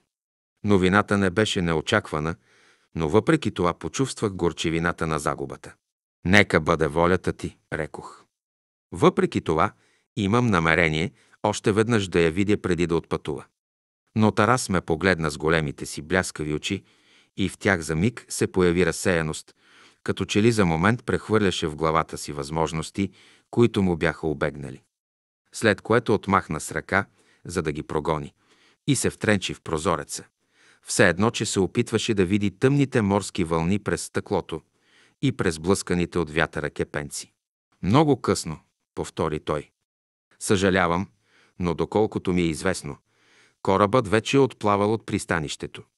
Вятърът тази нощ е особено благоприятен. Още след обед тя бе превозена тайно с всичката си прислуга и багаж на борда на една критска галера. Извърнах се и си тръгнах с премрежени от сълзи очи. Откачих фенера си от куката в коридора, непохватно отключих входната врата и се втурнах в тъмницата навън. Вятърът фучеше, а морето бучеше зад крепостните стени с разбиващи се във вълнолома талази. Бурята оплете дрехите около тялото ми и напълни устата ми с прах. Не можех повече да се владея и запокитих с все сили фенера, който прелетя като дъга в тъмнината, разби се и угасна. Тогава моят ангел-хранител и кучето ме спасиха. Нож ме прободе под лявата плешка, но се отплесна в ребрата, след което нападателят ми се препъна в кучето, извика от ухапването му и отново сляпо замахна. Жалният кучешки вой бе доказателство за това, че вместо мен то бе получило смъртоносна рана. Ужасен гняв ме заслепи. Сграбчих врата на нападателя в жестока хватка, научена при турците. Воня на чесън и мръсни дрипи ме удари в носа. Притиснах главата му към земята и прободох боричкащото се тяло с кинжала си. Грозен рев се изтръгна от устата му. Наведох се над издъхващото куче, което се опита да ме близне по ръката, след което главата му се килна безчувствено на страна. Защо ме последва? Нали ти забраних, рекох аз. Не ти, а моят ангел-хранител ме спаси. На празна саможертва, приятелю добър. То беше само едно бездомно жълтеникаво псе, което се беше привързало към мен и което заплати с живота си за тази си привързаност. В прозорците на палата проблесна светлина и портата шумно беше отлостена. Побягнах, но са заслепени от сълзи очи се блъснах в някаква стена и нараних лицето си. Избърсах с ръка кръвта и, без да се колебая, се отправих към хиподрума. Лявата ми страна бе подгизнала в кръв. За миг измежду летящите облаци проблеснаха звезди. Очите ми посвикнаха с тъмнината, а в ударената ми глава барабанеше една и съща мисъл. Францес, а не Константин. Францес, а не Константин. Наистина ли ме смятаха за толкова опасен, че дори не се осмеляваха да ме затворят в мраморната кула? Францес ме беше предупредил да не посещавам къщата на Лукас Нотарас. Но щом заобиколих хиподрума и достигнах до хълма. Тези безсмислени предположения изчезнаха от главата ми. Прокраднах се по край гигантската грамада на света София и, притискайки с ръка ребрата си, се отправих към пристанището. Сърцето ми топтеше, няма я вече. Няма я вече. Ана Нотарас е напуснала града. Тя е направила своя избор. Какво всъщност бях очаквал? Заминала си беше без да проводи вест и без да се сбогува. Мануил ме очакваше, поддържайки топлината в стаята ми. Не беше много изненадан от обеленото ми лице и от кръвта под дрехите ми. Веднага донесе чиста вода, балсам за рани и превръзки. Помогна ми да се съблека и изми раната ми, която се простираше от лявата ми плешка до кръста. Смадеше ме ужасно, но болката на тялото беше отеха за душата. Дадох му лекарска игла и копринен конец и му показах как да я зашие. Наредих му да я промие с силно вино и да я наложи с току-що на събрана паяжина и мухъл, за да я предпази от възпаление. Едва когато ме превърза и ме положи в леглото, започна да ме втриса. Така треперех, че чак леглото се тресеше. Куче, прошепнах с трескав глас. Слабичко жълто куче, кой си ти? Дълго лежах буден. Бях отново сам, но не помолих за прошка. Ана Нотарас бе направила своя избор и кой съм аз да я осъждам. Лежах замислен в тъмнината. Може би звездите са мислещи светове. От вселенската студенина лъчите им влияят върху хорските съдби. Още в майчината отроба те могат да направят от един герой, а от друг предател. От едного философ, от други го тъпак. В Божията Вселена всичко е възможно и никога не ще узнаем по какъв начин Бог ни въздейства. Вероятно формите се менят. Кучето ме позна и вероятно в предишния си живот сме били познати. Вероятно и след този си живот ще го срещна, защото не може, не бива нищо да остане незапълнено.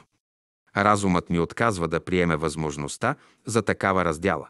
Или може би не съм човек. Дали наистина съм ангел, който под бремето на собствените си окови не може да се познае и да се определи. Та нали сред хората съм срещал и такива, дето се отличават от другите и даже отричат природните закони. Такива, които не са могли да бъдат само смъртни. Защо съм се родил, къде отивам и какво е тайното ми предопределение, което несъзнателно осъществявам, сигурен като сумнамбул? Не. Аз съм само човек.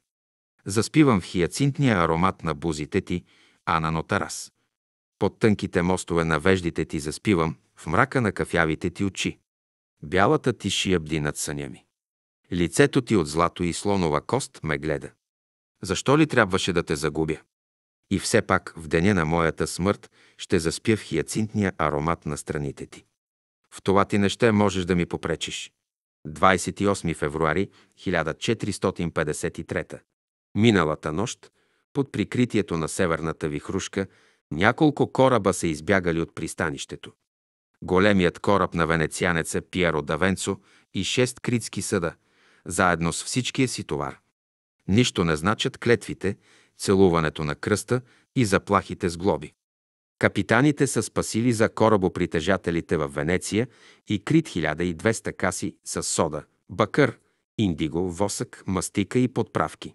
Освен това са отнесли със себе си стотици богати беженци, заплатили за пътешествието толкова, колкото им е било поискано. Изглежда, че в продължение на много дни приготовленията в пристанището са били всеобща тайна. Турците в Галиполи не изстреляха нито едно гюле по тях и нито една бойна галера не излезе да ги пресрещне. И това е било предварително оговорено от неутрални агенти в Пера. Какво ли го е грижа султана за няколко съндъка смет и подправки, ако може да намали броя на корабите, с които императорът разполага, и по този начин да отслаби защитата на пристанището. Коропалатът, върховният адмирал на флота, също е знаел за това бягство и е изпратил с тези кораби дъщеря си на сигурно място. Но и дамите от императорското семейство също са изчезнали от града. Макар, че никой не знае кога и как са отпътували. От останалите в пристанището капитани императорът е поискал отново да се закълнат, че няма да отплават без негово разрешение. Какво друго може да направи? Венецианците отказват да разтоварят драгоценните си стоки, което би било единственият сигурен начин да бъдат задържани. 1 март 1453. Сам Джустиниани дойде да ме посети, тъй като още не смея да се показвам навън. Раната ме смъди, лицето ми гори и все още ме тресе. Веднага след като слезе от бойния си кон, пред къщата ми се насъбра тълпа. Гърците му се възхищават. Нищо, че е латинец. Малките момчета уважително докосват сбруята на коня му. Императорът го е дарил с позлатено седло и с обсипана от скъпоценни камъни юзда. Посещението му е голяма чест за мен. Разговаряхме надълго и на широко. Обясних му своята философия, идеите на моя учител, доктор Козански. Според него вярното и невярното, истината и лъжата, доброто и злото не се взаимоунищожават. За това, че няма абсолютна истина и лъжа, правда и неправда, добро и зло, и че всичко относително на този свят се слива в едно с безкрайността. Той обаче нищо не разбра.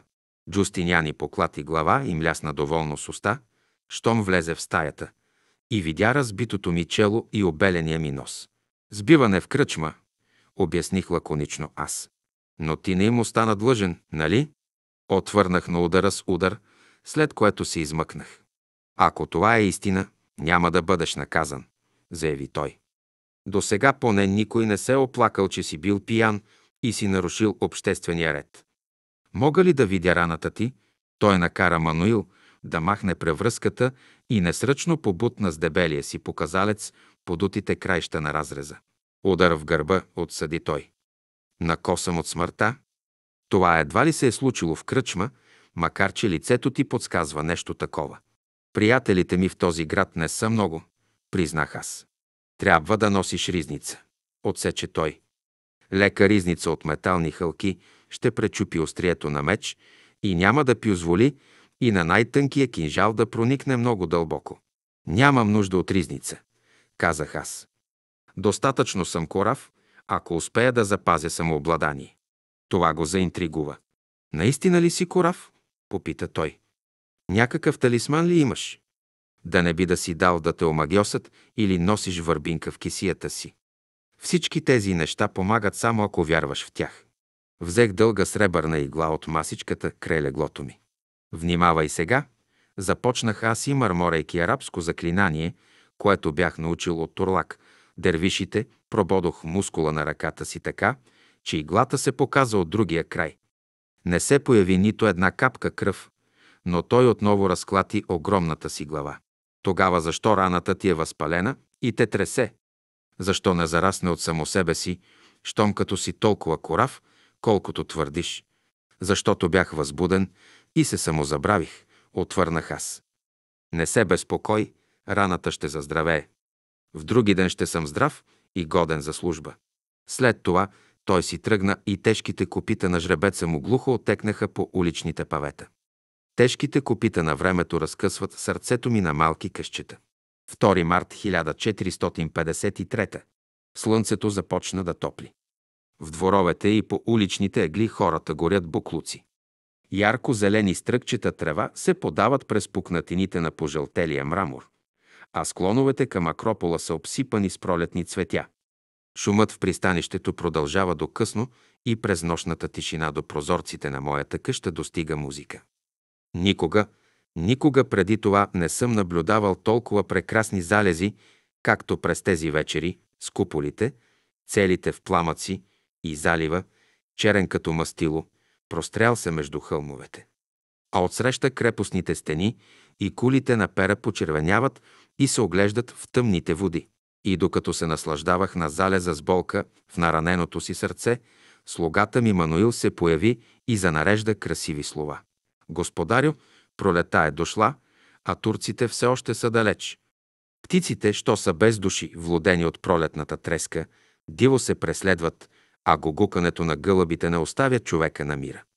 В патриаршиските обори магаретата грозно реват и подлудяват всички наоколо.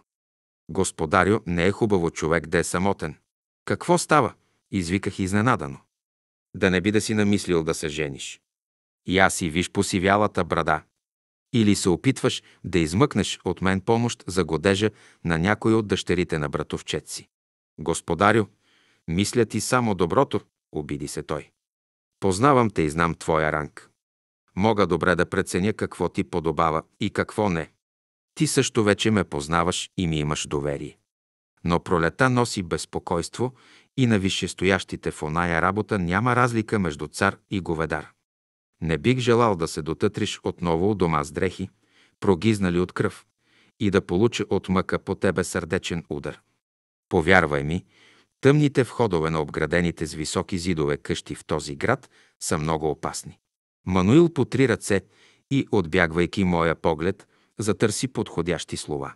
Но всичко може да бъде уредено, намекна той. Станал си унил и нощем неспокойно се въртиш в леглото. Сърцето чак ме заболява да те гледам. Аз, разбира се, не искам да ти се бъркам в работите и знам своето място.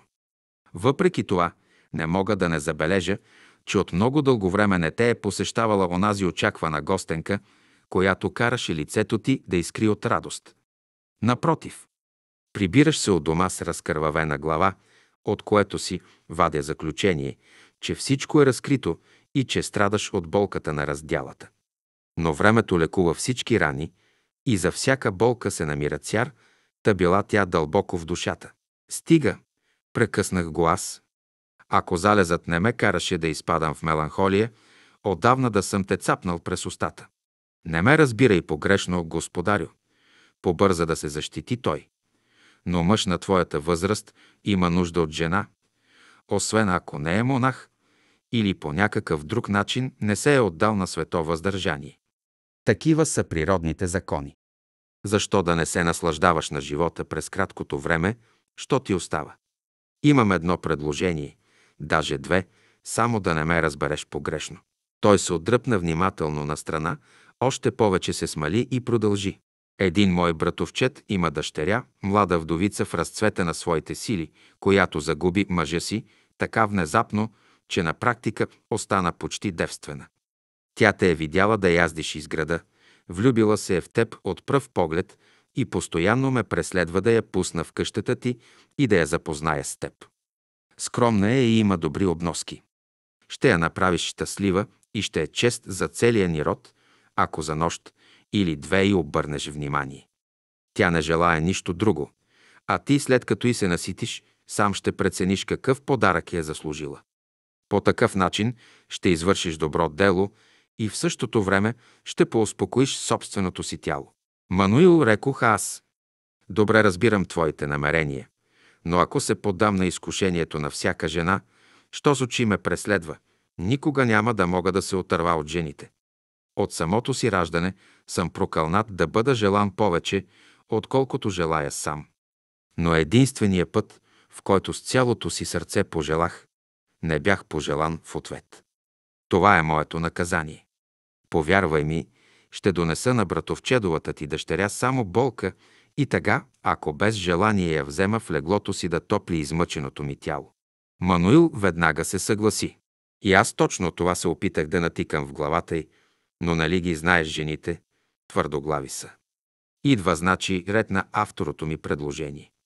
Една от лелите ми има приятел, уважаван мъж и много дискретен, който с удоволствие помага на бедни и богати в беда. За тази цел той е построил близо до Влахеренския дворец външно скромна на вид, но отвътре с вкус подредена и обзаведена къща, в която има млади рубини от всякакви националности и където човек може да получи гореща баня и масаж. Дори стари, похабени и импотентни вече архонти са напускали този дом, превъзходно задоволени от получените услуги, след което са изказвали по най-различен начин благодарността си към този свой помощник.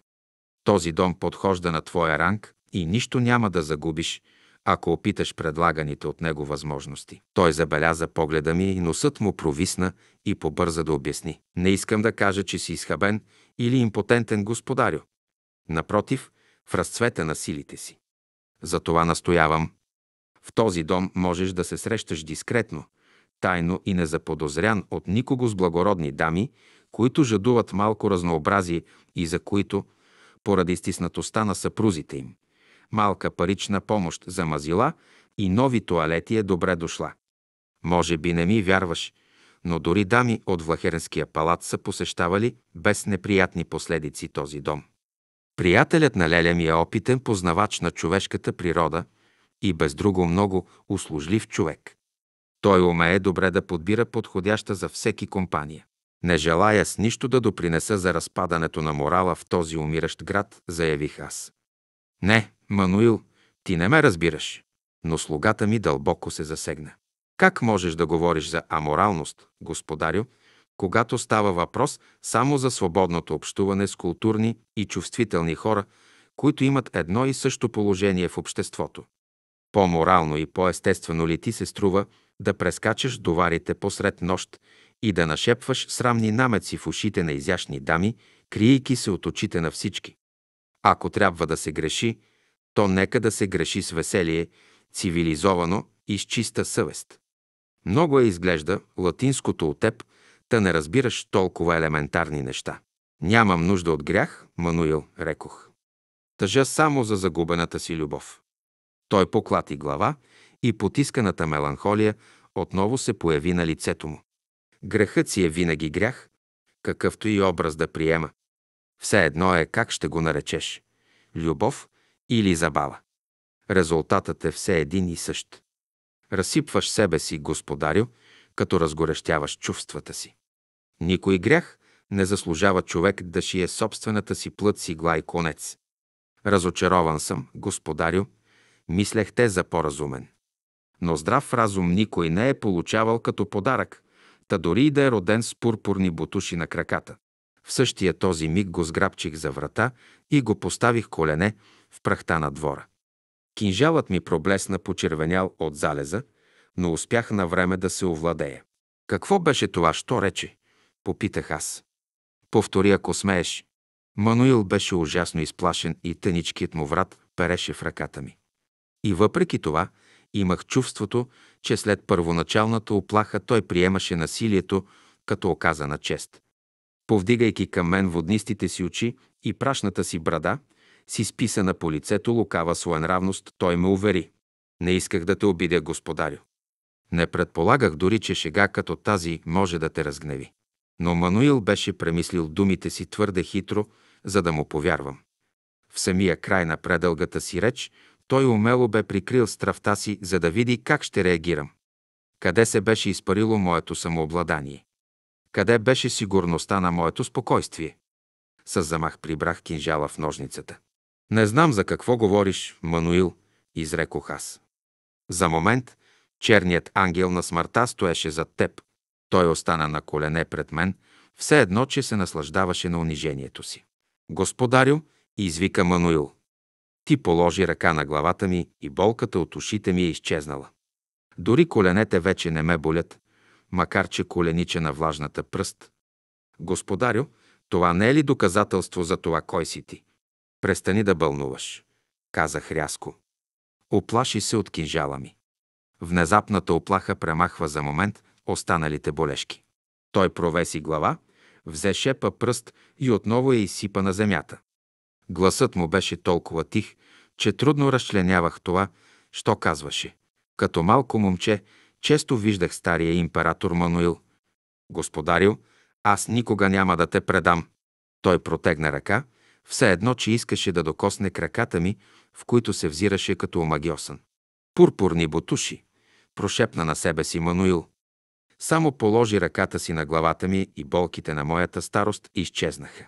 Последните кървави лъчи на залеза се скриха и на тяхно място падна мрак и хлад. Не различавах вече лицето на Мануил и не казах нищо повече. Всичко ми беше все едно. И зад морската шир, от към бреговете на Азия се насъбираха облаци във формата на синьо-черни кули, по-големи от крепостните стени. Бях се учил да се нося с облаците, но те вече не ме удържаха. Бях паднал на земята, болеше ме и ми се виеше свят. Бях много самотен. Обърнах се и влязох в къщата си, където отново ме обгърна топлина, хартия и мастило. Обичах някога сладкия мирис на мастилото и сухото шумолене на хартията. Сега ги мразя. Думите са само сравнения, както и всичко, що е земно. Крайно безпомощни символи, които всеки тълкува по-своему, придавайки им съдържание, угодно за него самия. Не ще изразиш с слова безкрайността. Все още има кораби в пристанището и с малко късмет. Всеки западен кораб още може безпрепятствено да преплава Дарданелите и да напусне Егейско море. Няма неподкупни латинци. Но трескавото ми сърце ме накара да захвърля скъпоценните си камъни в скута на Джустиниани. Трескавото ми сърце още веднъж ме накара да се освободя от богатството си. Все едно, че се освобождавам от дреха, която ми стяга. Сега съм прекалено беден, за да подкупя латински капитан и да я последвам. От това ли се страхувах? Заради това ли захвърлих скъпоценните си камъни? Нищо не става случайно.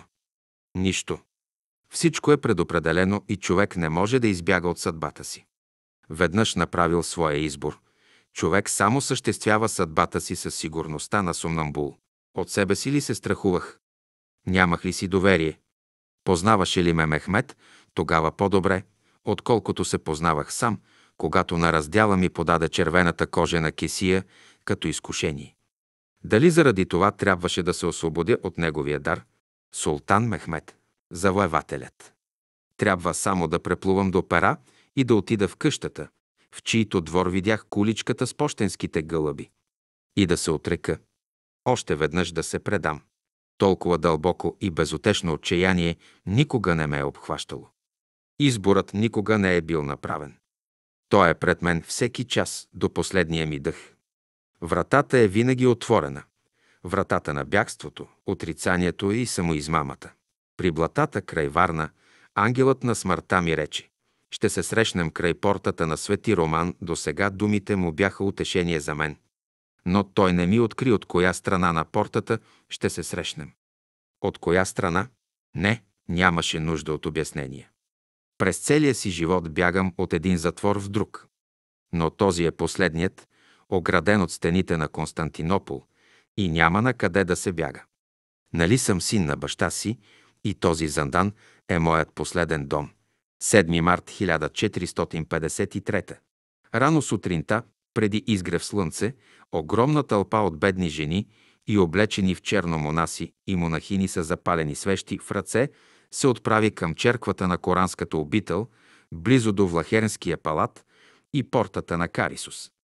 Вървяха и пееха псалми, но песента им се губеше в градското безмълвие и в тъмнината на ранната утрин. Последвах ги. Таванът и стените на черквата са като огромна мозайка и от светлината на вощениците драгоценните камъчета проблясваха върху златния фон. Миришеше на тъмян. Изкрящото благоговение на молещите се е като балсам за моето сърце. Защо ги последвах и защо коленичих заедно с тях? Бях се нагледал на монаси и монахини из града, където те обикалят от къща на къща и с дървена паница в ръка събират милостиня за беженците, които, бягайки от турците, се сипят на талази в Константинопол. Всички монахини си приличат. Невъзможно е да ги различиш една от друга. Между тях има жени от аристокрацията и от простолюдието. Има и заможни самотници, които са си купили място в някой метох. И послушници, които се наемат да вършат черната работа, без да бъдат обаче закълнати. Те се радват на по-голяма свобода от своите сестри на Запад, а на поповете им е позволено да се женят и да си пускат брада. Външно всички монахини си приличат по еднаквите черни мантии, които скриват от погледа формите на тялото, и по вуалите, що откриват само очите.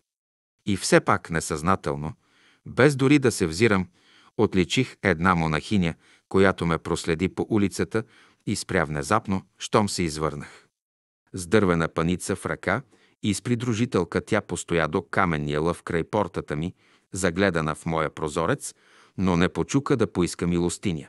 От тогава внимателно оглеждам всяка срещната монахиня, защото нещо в походката й, в начина по който държеше главата си и по ръцете, скрити в широките ръкави, ми подсказва, че лесно ще я разпозная сред другите. Потопил съм се в иллюзии и сънувам. Отчаянието ме заслепява и започвам да вярвам в невъзможното. Надежда, що не смея сам да си призная, прегаря душата ми като пламък на вощеница. 10 март 1453. Тези дни живея като на сън. Най-сетне рано сутринта двете монахини пак се появиха на улицата и се загледаха в прозореца ми, все едно, че се надяваха да ме зърнат, когато тръгвам да изпълнявам военните си задължения. Втурнах се надолу по стълбата, отворих входната врата и задъхан застанах пред тях, без да мога ни дума да отроня. Те се отдръпнаха от пътя ми и наведоха глави. Едната от тях протегна към мен дървената си паница и измърмори обичайната молба. Заповядайте вкъщи, сестрици. Подканих ги аз. Кесията ми остана вътре. Тя стоеше прикрита зад по-възрастната монахиня с наведена глава, за да не мога да видя очите й. След това те направиха опит да си тръгнат. Загубих самообладание и я сграбчих за ръката. Ужасен, Мануил изтича от къщата. Господарю, да не си се побъркал, извика той. Тълпата ще те пребие с камъни, ако закачиш монахиня. По-възрастната жена ме перна с кокалестия си юмрук в лицето и започна да ме налага с дървената паница по главата, но не посмя да извика за помощ. Влезте вътре, наредих аз. Така привличаме внимание. Началникът ти ще те обеси. Заплаши ме по-старата сестра, но се извърна и отчаяно погледна другарката си. Тя кимна в знак на съгласие, тъй като болезнено и здраво я стисках за ръката. Те прекрачиха прага, след което Мануил залости входната врата, а аз казах. Това си ти, нали? Сред хилядите те познах. Наистина ли си ти? Как е възможно това, потрепвайки, тя изтръгна ръката си и забързано рече на другарката си. Това е някаква грешка и недоразумение, което ще трябва сама да изправя. Би ли ме почакала тук? По това разбрах, че не беше истинска монахиня и че не беше още закълната. Иначе нямаше да може да остане насаме с мен. Отведох я в стаята си и заключих вратата. Отмахнах вуала от лицето й и я взех в прегръдките си. Държах я в ръцете си. Чак тогава се разтреперах и избухнах в сълзи. Така ужасни бяха моите безнадежност, съмнение и страст. Всичко в мен се взриви. На 40 години съм и зачевам есента на своя живот, а се разтърсвах от ридание като дете, събудило се от кошмарен сън в прегръдките на майка си. Любима моя, рекох аз, как можа да постъпиш така с мен? Тя махна вуала от главата си и отхвърли черната наметка от себе си, все едно, че се срамуваше от нея. Беше много бледна, но не беше позволила да й отрежат косата. Беше спокойна, а очите й блестяха горди и любопитни. Погали бузите ми с връхчетата на пръстите си и очудено погледна влагата по тях. Какво ти има, Йоханес Ангелус? Попита тя. Плачеш ли?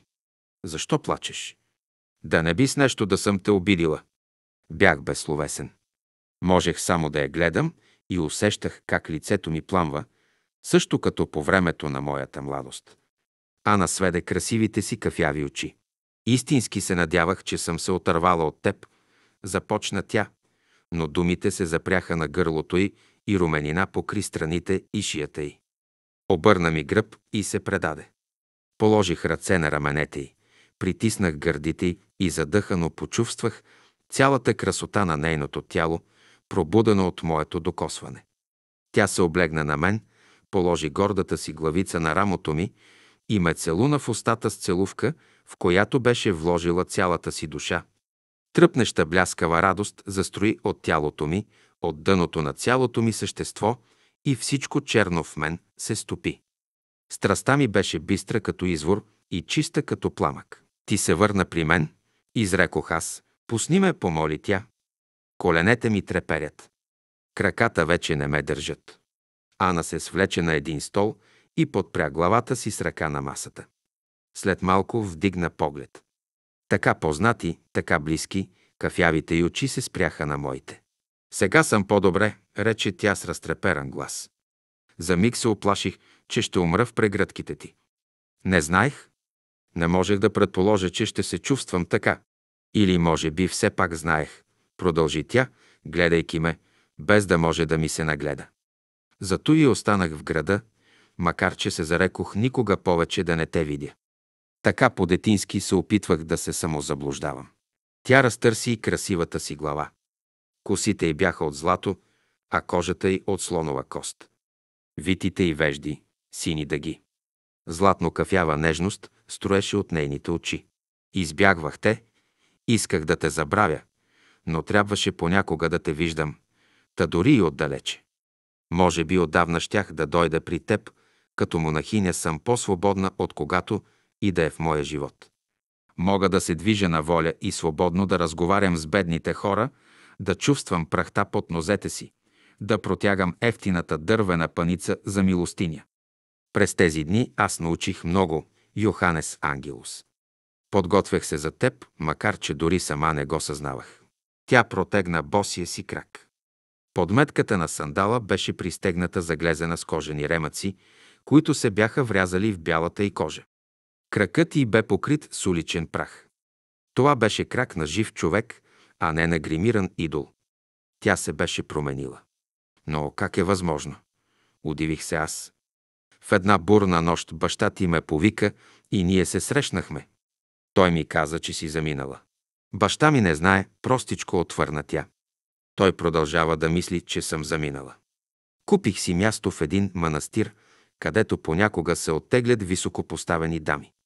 Там съм само гостенка, която си плаща, наречена Ана, и никой не се интересува от моето фамилно име. Ако ме открият, метохът също ще си изпати, зато и тайната ми строго се пази. Ако пожелая да остана там до края на живота си, ще се здобие с ново име, наново ще бъда родена и никой външен човек никога не ще узнае коя съм била. Само ти знаеш и това е неизбежно. Да не би да си наумила да останеш до живот в този метох. Уплашено казах аз. Тя любопитно ме погледна изпод тежките си ресници. Извърших тежък грях. Започна тя, играйки на невинна. Не се подчиних на баща си. Може би трябва за това да се покая. Все още не можех да разбера как тя, така ревностно пазена, бе успяла да се измъкне. Ана ми разказа, че баща й пожелал тя да отплава за остров Крит, за да не попадне в ръцете на турците или на латинците.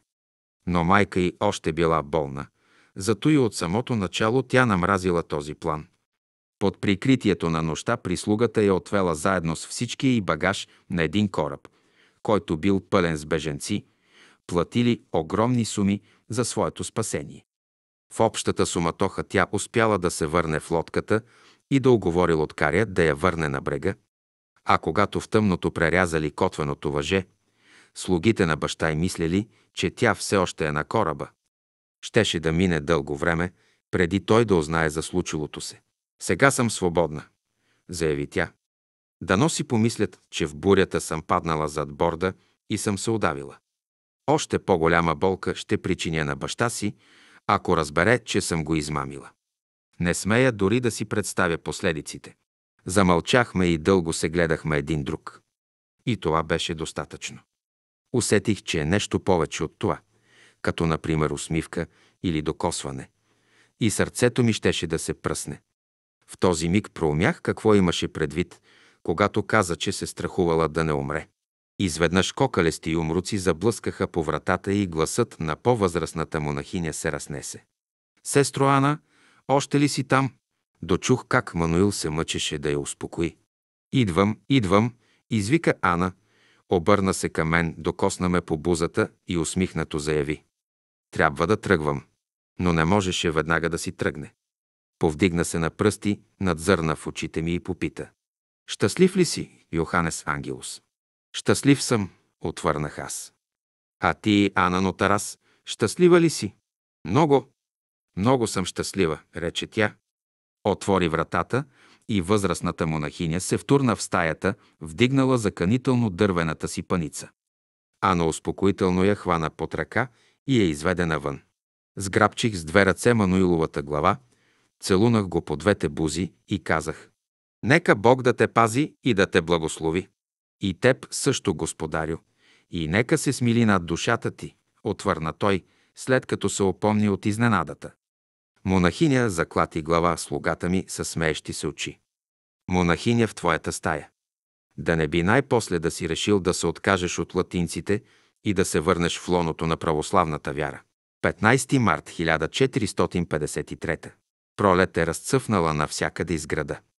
Боси дечица продават цветя по улиците – а насред руините мълчугани свирят на флейти. Няма по-тъжен и по-красив звук от този. Благославям всеки отминал ден, в който ми е позволено да живея. Името на по-възрастната монахиня е Кариклея. Баща е бил обощар и при това грамотен. Но Мануил казва, че името не подхождало на лицето й. Докато се хранела тя с готовност, махала булото си. Обича да яде месо и да пие вино. Тя е само послушница в метоха и е доволна, че дървената и паница се пълни с толкова малко труд. Мануил е обяснил, че желая преди идването на турците да се откаже от латинската си вяра и да се докосна до тялото Христово посредством заквасен хляб, както и да чета истинското верою без еретическите допълнения. Зато и ми е необходима помощта на сестра Ана. Не знам какво си мисли за нас, но тя е взела Ана под крилото си и я уважава като образована и благородна жена, в постъпките на която една послушница не може да се съмнява. Днес Джустиниани ме изпрати да наблюдавам военни упражнения край златните порти и Ана с Карикле ми донесоха храна в плетена кошница. Това не възбуди подозрение. И на много други донесоха храна за обяд, тъй като мраморните кули на портата са далече от града. Младите монаси отидоха да се хранят в манастира на свети Йоанн Кръстител. Те са освободени от постене. По време на ученията лицата им са се налели и почернели. Те с удоволствие запрягат ръкави, отмятат калимявките си назад и слушат хвалбите на обучаващите ги инструктори. През време на почивките пеят на многоглас гръцки псалми, които са много красиви. През златните порти може да влиза само триумфиращата императорска процесия. Никой жив не си спомня да ги е виждал отворени. Сега те са зазидани в очакване на обсадата. В двете мраморни кули от най-стари времена са били затварени политически затворници. Казват, че там отдавна няма никой, тъй като, идвайки на власт, Константин беше освободил всички политически затворници. Поседнахме на тревата в сянката на крепостната стена. Разчупихме погача, ядохме и пихме заедно. На Кариклея и се приспа по-отдалечи се от нас, прикри лице с вуала си и задряма. Ана свали сандалите си, които бяха прежулили до кръв краката й, и зарови пръсти в тревата. От детството си не съм била така свободна и щастлива, рече тя. Сокол кръжеше високо в бляскавата пролетна синева. Понякога императорските ловджии пускат ловните си соколи, за да преследват египетски гълъби, като че ли от това можеше да има някаква полза. Бавно и зорко соколът кръжеше над главите ни. Ана прекара тънките си пръсти през тревата и без да ме поглежда заяви. Научих се на състрадание към бедните хора. И не след дълго добави. Монашеските одежди вдъхват доверие. Хората споделят болките и страховете си. Говорят с мен като сравна и това е нещо, което не бях изпитала преди. Каква полза има от всичко това? Питат те. Султанската войска е безчетна, а топовете й могат да сринат и най-могъщите стени с един единствен залп. Император Константин е предател, който сам се е положил в ръцете на папата. Продаде града и престола си за една чиния с грах. И за какво? Султанът не заплашва нашата вяра и под негова власт поповете ще могат спокойно да си гледат работата. Забранява само да се бият камбаните на църквите и манастирите. Под закрилата на султана вярата ни ще бъде запазена от латинците. Турците не насилват бедния народ, щом си плаща редовно налозите, които при султана са по-леки, отколкото при императора. Защо му трябва на обикновения народ да умира или да попада в робство, само за да запази интересите на Василевса и на латинците? Само нобилите и богатите има за какво да се страхуват от турците, така открито говорят хората в своя страх. Тя все още не ме поглеждаше. Настръхнах и охладнях. Какво ли искаше от мен? Какво ли целеше с тези си приказки? Необходимо ли е този град да бъде разрушен и плечкосан? Или да попадне в ръцете на латинците? Попита Ана. Тези обикновени хорица не искат нищо друго, освен да живеят мирно, нещо да вършат с работливите си ръце, да раждат деца на света и да съхранят вярата на дедите си. Има ли толкова велика кауза, заради която си заслужава да се умре? Те не притежават нищо друго, освен този миг, този кратък живот на земята. Жал ми е за тях. Говориш съвсем като жена. Рекох аз. Беше нейн ред да настръхне. Аз съм жена. Какво лошо има в това? Разгневи се тя. И жената притежава разум и интелект. Имало е времена, когато този град е бил управляван от жени и всеки път по-добре от времената, когато е бил управляван от мъже. Ако и сега жените имаха власт да решават, те биха отпратили латинците с корабите им и Василев са заедно с тях. По-скоро турски тюрбан, отколкото папска митра. Така ли? Подхвърлих язвително аз. Говориш с устата на баща си. Гледах я и ужасно съмнение започна да ме обзема. Ана, казах аз. Мислех, че те познавам. Възможно ли е да греша? Истина ли е, че тайно от твоя баща си останала в града? Или с негово знание? Можеш ли да се закълнеш? Ти ме обиждаш, извика тя. Защо ми трябва да се кълна? Моята дума не ти ли стига? Ако говоря с устата на баща си, това е защото съм започнала да го разбирам по-добре от преди. Той е по-талантлив държавник от императора и обича народа си повече от тези, които заради приятелството си с латинците са готови да превърнат града в руини и да подложат жителите му на заколение. Та той е мой баща. Никой друг не би се осмелил да се опре на Василевса и на висок глас да изкаже убежденията си, както той направи в деня, в който ти и аз се срещнахме за първи път. Позволи ми да се гордея с него. Лицето ми се вкамени, дори устните ми изтинаха.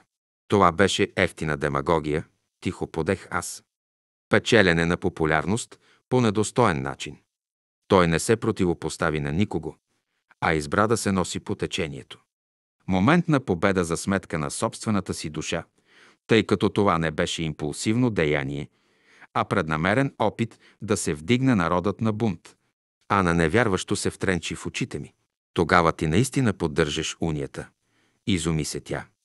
Сърцето ти е латинско, а гръцката ти кръв е само измама. И ако това е така, опитах да се защитя аз, кого ще избереш? Баща си или мен? Бузите й пребледняха, а ъгълчетата на устата й бяха толкова напрегнати, че почти я загрозяваха. За момент бях сигурен, че ще ме удари, но тя се отпусна и махна безпомощно с ръка. Не ти вярвам. Ти не си латинец. Какво имаш толкова против баща ми? Самообладанието ми беше изместено от ревнивия гняв на подозрението. Кой пита? Ти или той? Избухнах грубо аз. Той ли те изпрати да ме изпиташ, след като сам не успя да ме привлече на своя страна? Ана скочи на крака и яростно заизтърсва полепналите по ръцете и стръкчета трева. Все едно, че искаше да се отърси от мен. Презрението в кафявите й очи изгаряше душата ми. Отвътре напираха сълзи. Това никога не ще ти простя, извика тя и без да гледа побягна боса, удари пръстите на краката си в камъните и се разплака. Не я последвах и не я съжалих. Съмнение бушуваше в душата ми и се надигаше като жлъчка в гърлото. Може би тя само се преструваше. Може би се надяваше, че ще се огъна и ще се опитам да пресуша измамните й сълзи. Не след дълго Ана се изправи с провиснала глава и избърса с ръка в лицето си. Карикле се пробуди, седна и ни загледа с очудване. Забравих си сандалите. Безизразно рече Ана и се наведе да си ги вземе. Настъпих ги с крак. Пръстите й кървяха и аз отвърнах очи. Почакай и помолих. Нека продължим нашия разговор. Ти ме познаваш, но не знаеш всичко за мен. Имам правото да се съмнявам във всеки, дори и в теб. Аз направих своя избор. Процеди тя през зъби. Аз глупачката избрах, като мислех, че ме обичаш. Хванах главата из две ръце и я накарах да се изправи пред мен, въпреки че се съпротивляваше. Беше по-силна, отколкото предполагах, но все пак успях да я изправя и да обърна лицето й към себе си. Тя затвори очи, за да не ме гледа. Така горчиво ме ненавиждаше в този момент. Ако не беше така добре въпитана, без съмнение щеше да ме заплюе в лицето. Трябва да разнищим това до край, казах аз. Имаш ли ми доверие, Ана Нотарас? Тя изсъска безпомощно, сълзи покапаха от затворените клепачи и се затъркаляха по страните й. Въпреки това, успя да промълви. Как да ти се доверя, като ти не ми вярваш? Такова нещо не очаквах от теб. Защо ми наговори всичко това преди малко? Обвиних я аз. Може би не беше по нареждане на баща ти. Вземам си думите назад и моля за прошка. Но и ти май скришно в сърцето си се съмняваш, че все още съм на служба при султана. Така мисли и баща ти. Така мислят всички, освен Джустиниани, който е протостратор и е по-умен от вас. Защо ти трябваше да ми говориш така провокиращо? Изпитваш ли ме? Едва забележимо Ана започна да се успокоява. Това, което казах, беше разумно. Исках сама на себе си да изясня собствените си мисли и може би да разбера твоите, но не с зла умисъл. Народът говори така и това е самата истина. Пуснах я и съжалих за грубостта си, а тя повече не се наведе за сандалите си. Трябва да се сложи край на приказки от този род, рязко казах аз. Всеки, който говори така, е предател, макар и несъзнателен. Само султанът има полза от такива приказки, а той не познава милост. Не се съмнявам, че е щедър на обещания и намеци и позволява на пратениците си да ги разпространяват навсякъде, но той няма никакво намерение да се съобразява с тях, ако това не отговаря на плановете му. Мехмет уважава само смелостта. Отстъпчивостта за него е знак на страхливост, а в неговата империя няма място за слабите и за страхливите. Този, който говори за капитулация и вярва на султанските приказки, копае своя собствен гроб. Не разбираш ли, любима? Извиках аз, като я разтърсих за раменете. Той е решил да направи от Константинопол своя столица, турски град, и да превърне черквите в джемии. В този Константинопол, тук, няма да има място за гърци, освен като роби. Зато и той ще трябва да сравни цялата гръцка държава с земята, и това е неговото намерение. Няма да се задоволи с по-малко и защо ли му трябва. От тук Мехмед желая да владее над изтока и над запада. За това няма никакъв друг изход, освен да се бием, да се бием до последен дъх и дори без надежда. И ако на тази хилядолетна империя и е писано да падне, то нека падне с чест. Това е единствената истина. За майките в този град ще е по-добре, ако сами разбият главите на чедата си в камъните, отколкото да говорят за капитулация. Този, който коленичи пред султана, сам подлага глава под сатъра, все едно беден или богат. Повярвай ми, любов моя, повярвай ми. Познавам султан Мехмед и за това дойдох, за да погина с вас, а не да го последвам. Не бих желал да надживея гръцкия Константинопол. Тя разтърси красивата си главица. Сълзи на гняв и унижение все още проблясваха в кафявите й очи. Страните й горяха. Беше като малко момиченце, несправедливо наказано от своя учител. Вярвам ти, промълви тя. Длъжна съм да ти вярвам, но не разбирам защо. Невярващо тя посочи с ръка. Далеч над грамадите от сиви и жълти къщи се издигаха гигантските кубета на света София. Измежду полетата от руини много други кубета се извисяваха над море от постройки. А близо до нас се въздигаха могъщите, огрени от слънцето крепостни стени, златисто кафяви от годините, по-високи и от най-високите каменни къщи.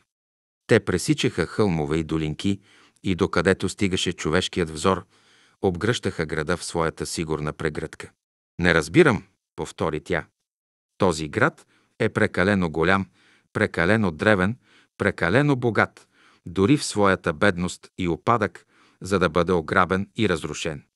Той е дом за стотици хиляди, които не могат да бъдат изклани или продадени в робство. Константинопол е прекалено голям, за да бъде напълнен с турци. Само преди 100-200 години те бяха разбойници и овчари. Те имат нужда от нас, за да им построим стабилна държава. Султанът е просветен младеж, който говори гръцки и латински. Защо ще иска да ни погуби, след като завладее града? Защо ще му трябва да унищожава собствените си поданици? Нищо не разбирам та времето на Чингис, хан и Тамерлан отдавна е отминало. Не познаваш Мехмед, започнах аз. Колкото и глупаво да звучеше, друго не можех да кажа. Той е изчел всичко за Александър Велики. Изчел е старогръцката история и арабските сказания. Гордиевият възъл е бил труден за развързване. За турците Константинопол е като Гордиев възъл.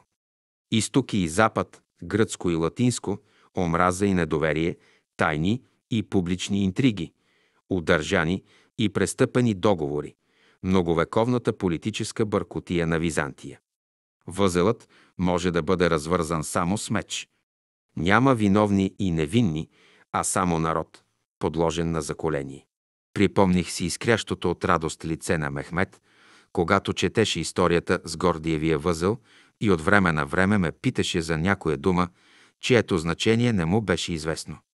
По това време султан Мурат беше още жив, дебел, меланхоличен и дребен, с посинели устни, подпухнал от пиене и вечно задъхан. Той умря на празнична трапеза, ограден от своите любими учени и поети. Беше толкова справедлив, милостив и отекчен от войниче прощаваше дори на враговете си.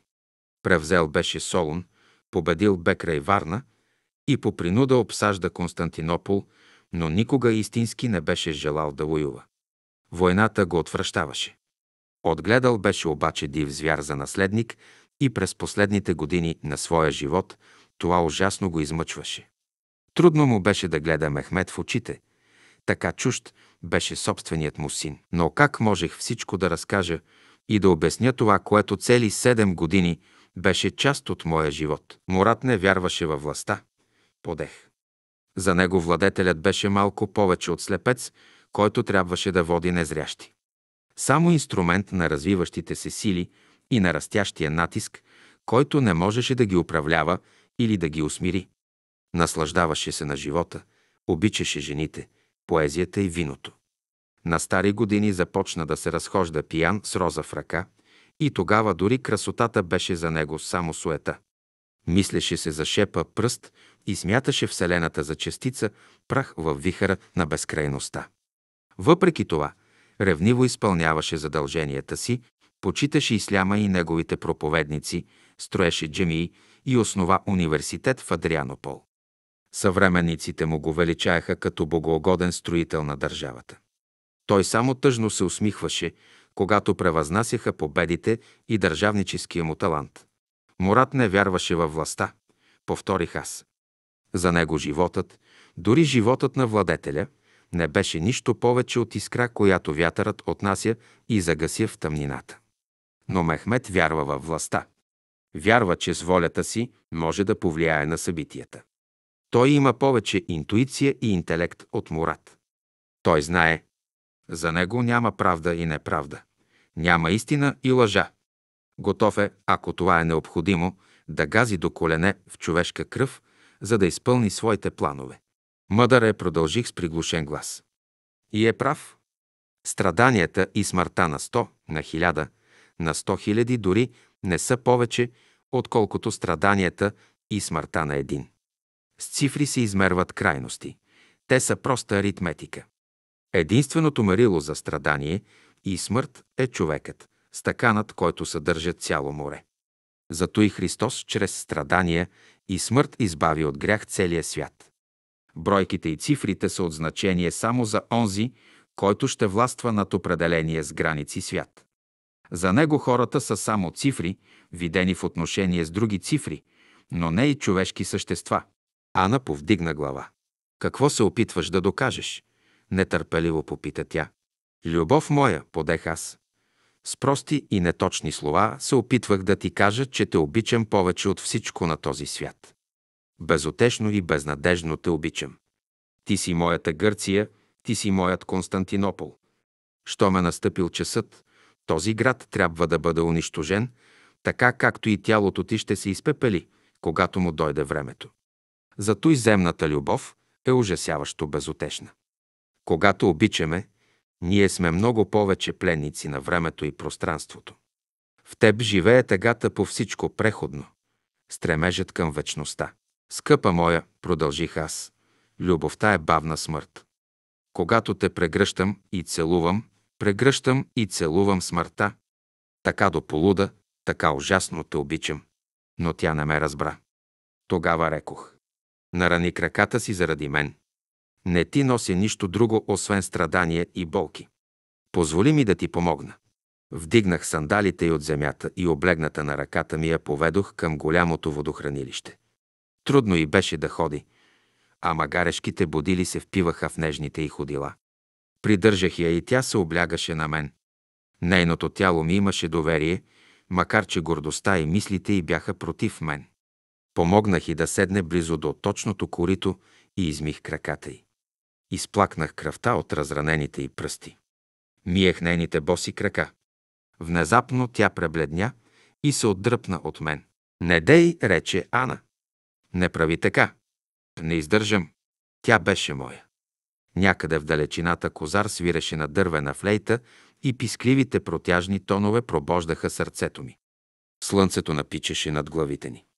Взех нейния бял крак в ръката си. Кожата му беше топла и жива.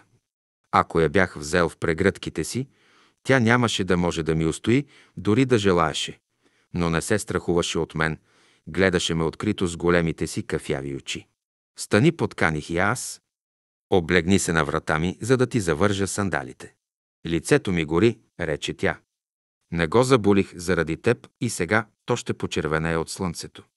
Краката ми също са изгорели, защото в дъжд и пек ходя без обувки. Благословен да е всеки ден, в който ми е разрешено да живея. Щом тя си замина и военните упражнения продължиха, гръмнахме с един топ от крепостната стена. Джустиняни искаше да привикне доброволците към трясъка, огъня и пушека на изстрела и да им покаже, че той е по-скоро страшен, отколкото опасен. Един от императорските артилеристи заради уръдието с най-големия възможен заряд прицели се и гръмна, а каменното гюле, голямо колкото човешка глава, прелетя над външната стена и над дълбокия ров и падна, като разтърси земята. Но от това голямата стена се разтресе още повече. Пропука се и големи камъни започнаха да се ронят по земята. Въпреки, че никой не пострада, опитът потвърди думите на Джустиниани, че топовете са по-опасни за тези, дето стрелят с тях, отколкото за врага. Инцидентът имаше потискащ ефект. Монаси и занаячии с ужас разглеждаха пукнатината в стената, не вярваха на собствените си очи и разбираха колко иллюзорна беше нейната непоклатимост. Зад стените, докъдето стига погледът, всичко е обезлюдено. Пресните дънари на отсечените за по-добра видимост кипариси и чинари блестят от слънцето на фона на зеленокафеникавата земя. Дори плодните дървета са изсечени и всички къщи са разрушени, за да не предоставят прикритие и строителен материал на врага. Някъде много близо до хоризонта се издига висок стълб от пушек, като от горящи сгради. Никакъв друг признак на живот не се забелязва и с тази опустошена земя. Подвижният мост все още не е унищожен. Наредих от части за зиданата порта да бъде отворена и изпратих няколко души да приберат геолето.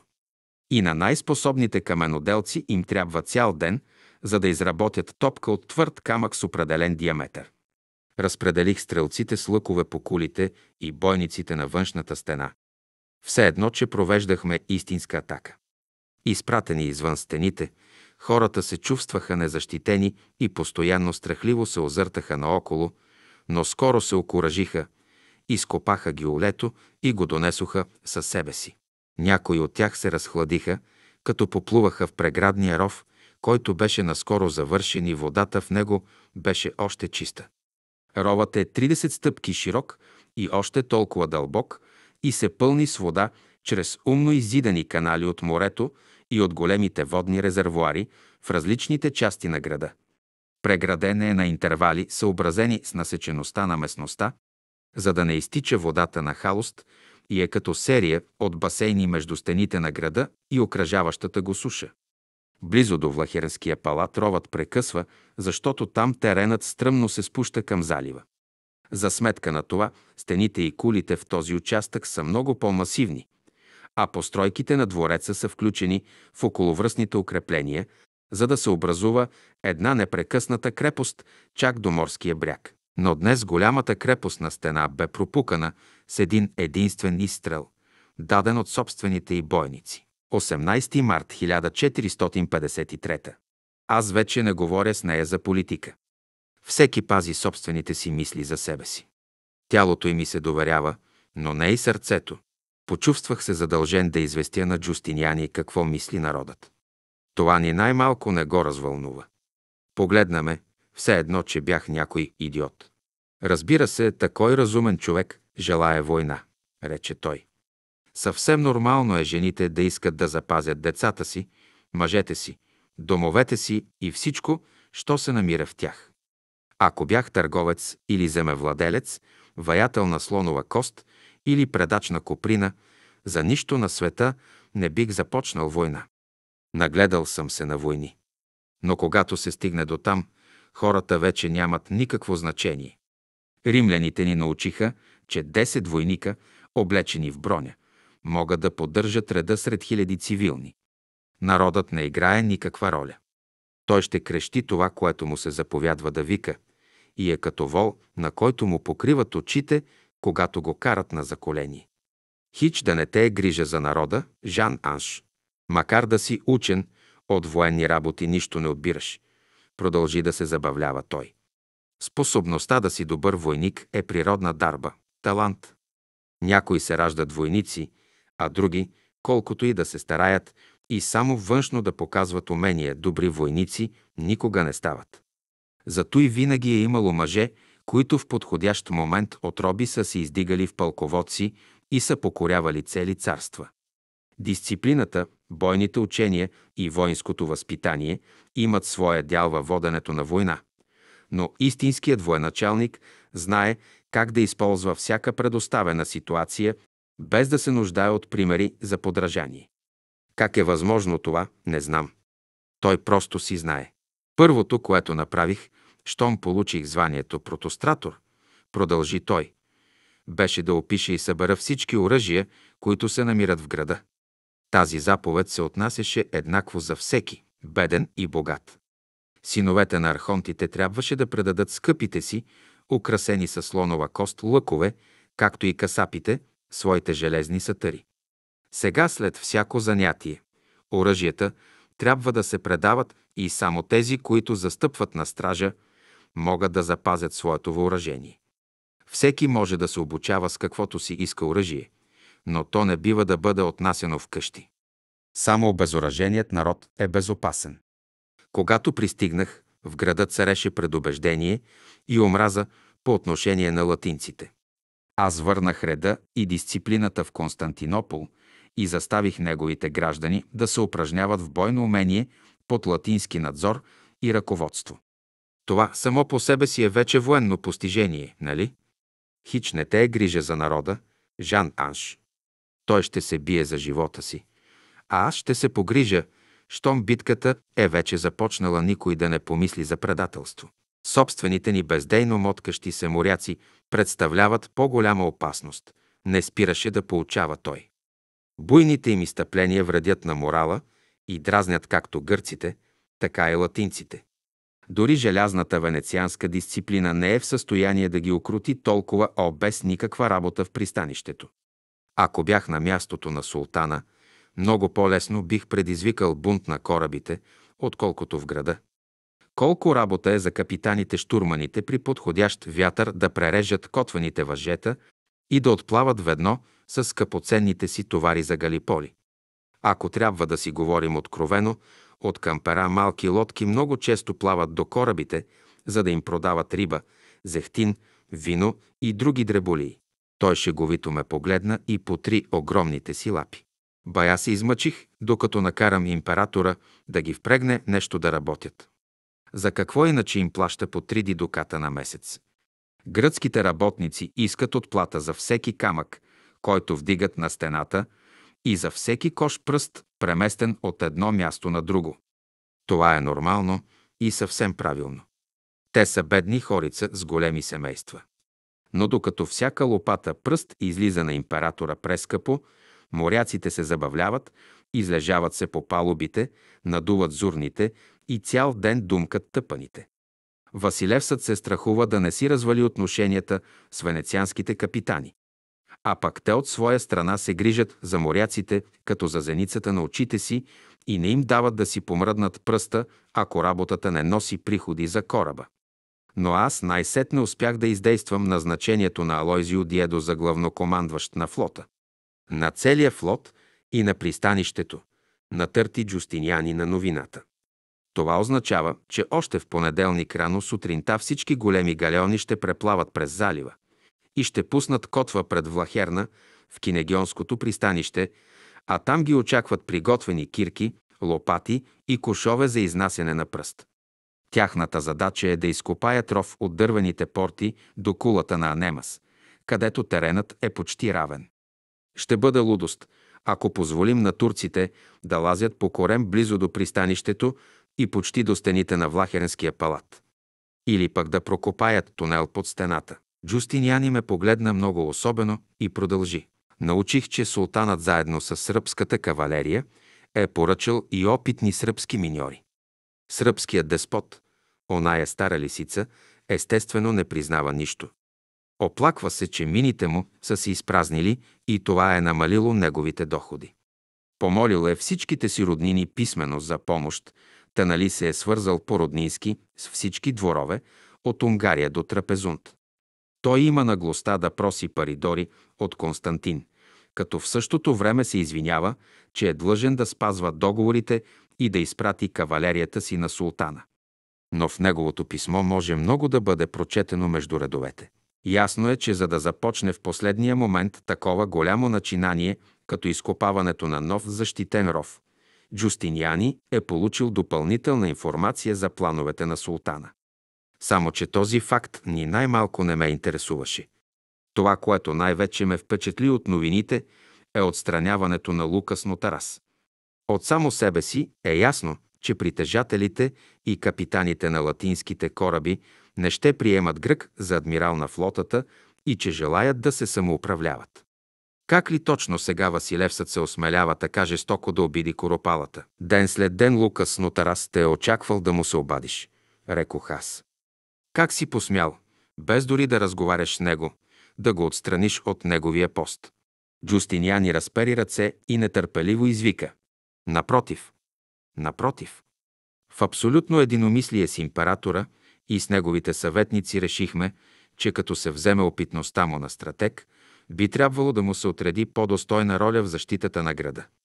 Та какво би могъл той да направи по време на обсадата с пете си прогнили дромона и с латинците, които настояват за самоуправление? Ние на практика го повишихме.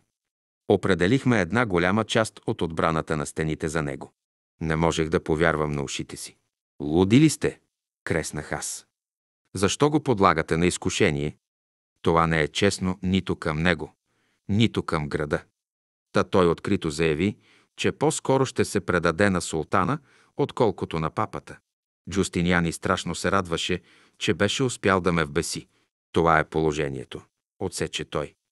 Това е израз на взаимото разбирателство и готовността за участие в защитата на гърци и латинци, на привърженици и противници на унията.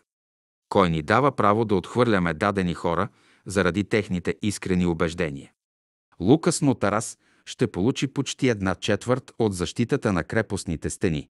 Това е единомисленото решение на учредения съвет по отбраната. Трябва да се сложи край на крамолите и недоверието. Един друг си протягаме братски ръка и рамо до рамо ще се бием за защитата на този прекрасен град. Да не би да си пиян, попитах аз. Или Константин си е загубил разсъдъка. Василевсът е повикал коропалата при себе си и по мои изчисления точно в този момент братски го прегръща като знак на примирие. Злобееше Джустиниани. Те, може би, ронят сълзи на умиление от това, че пак са се намерили. Гърците са като венецианците. Много лесно се разревават. Ние, генуезците, сме направени от по-корав материал, но даже и аз се просълзявам от умиление, само като си помисля как моята простичка досетливост кара стари врагове да си протягат ръка. Бях в такова настроение, че трудно понасях шеговития му тон. Джустиняни престорено избърса просълзените си очи. Трудно му беше да сдържа смеха си. Повишението ще помогне на Нотарас да преглътне загубата на дромоните. Продължи да се криви той. Като първо условие при защитата на пристанището Алойзио Диедо ще изиска прекалено малките и негодни кораби да се махнат оттам, за да не пречат. Императорските дромони ще бъдат разоръжени ще им свалят мачтите и платната и ще ги откарат на сушата. Моряците и войниците от тях ще са добре дошли като подкрепление на участъка от стените под командуването на Лукас Нотарас. Тъй като аз не съм в състояние да му отделя нито един от моите хора. Не се притеснявай, продължи той. Много други по-малки съдове ще бъдат потопени или извадени на сушата, тъй като по време на битката могат да се откачат от котвите си или да се запалят и по този начин да повредят големите бойни галеони. Потопени или негодни за плаване, те няма да изкушават никого към бягство от града, ако положението стане много напечено. По този начин възнамеряваме да сме наясно с корабоплаването. Алойзио Диедо е умен мъж, въпреки че е венецианец. В крайна сметка хвърляте коропалата право в ръцете на султана. Възразих аз. Откривате му пътя, който той, като грък и патриот, може би все още се колебае да поеме. Отнемате му пристанището и корабите, които е оборудвал със собствени средства. Опитвате се още повече да огорчите вече дълбоко оскърбен човек. Тази ваша политика е непонятна за мен. Изобщо не му вземаме пристанището, а само корабите. Невинно запротестира Джустиниани. Напротив, Именно стените от към пристанището са под негов контрол. От венецианския квартал чак до Влахеренския палат. Цялата вътрешна стена, която е дълга повече от 5000 стъпки. Аз скромно се задоволявам само с стената от към сушата, която няма и хиляда стъпки дължина. Не ми трябваше да гледам карта, за да разбера на къде биеше. С латинските бойни кораби, вардещи залива, Нападение по тази част на стените от към Златния рок едва ли можеше да се очаква. Една шепа войници беше достатъчна за цялостната й охрана и за контрола над корабоплаването в пристанището. По време на обсада тази част от стената беше най-безопасното място в града и турците можеха да го нападнат само ако им израснеха крила. Командването на този участък беше безпредметна почетна длъжност. Когато най-сетне разбрах за какво става въпрос, Джустиниани грамогласно се разсмя. Преви се, за стена и се заудря с юмруци по коленете. Разбрали най-после, заекна той и изтри сълзите от очите си. Това е огромна част от отбраната. Несравнимо по-дълъг сектор, от който и да е друг. Но Тарас ще трябва да покаже доволство, макар да знае за какво става въпрос. А той ще разбере, защото не е глупав. Захвърляш недоверието си право в лицето му, тънко предрешено като почест, казах аз. Може би това е мъдър ход. Може би. Джустиняни престана да се смее и ме погледна въпросително. Отнехме на Нотарас възможността да стане предател. Мрачно изломоти той. Щом като обсадата веднъж е започнала, той ще е привързан към своя участък и дори да му се иска, не ще може да ни удари в гръб. Защо си недоволен? Та нали ти ме предупреди за него? Логически погледнато. Той е прав. Измислил е възможно най-дискретния начин за неутрализирането на Лукас Нотарас. Защо тогава съм недоволен? 19 март 1453 Днес големите бойни галеони влязоха в кинегионското пристанище с развети платна и под звуците на фанфари и барабани. Моряците и войниците слязоха под строй на брега, взеха лопати, кирки и кошове и, разделени на отряди, всеки под знамето на собствения си кораб, напуснаха очертанията на града при двореца на Хебдомон. Там ги очакваше император Константин, качен на кон и придружен от царските сановници, блестящ в пурпур и злато с корона на главата и ги поздрави с добре дошли. Преградният ров с над 100 стъпки дължина бе разделен на обекти и капитаните на кораби забиха знамената си в точките, които им бяха показани. Осем стъпки бяха определени за ширина и дълбочина. Работа сравнително лека за 2000 копачи. Подаден от Василев със знак, наредени в редица слуги избиха даната на 10 бъчви, от които всеки можеше да си вземе по чаша вино.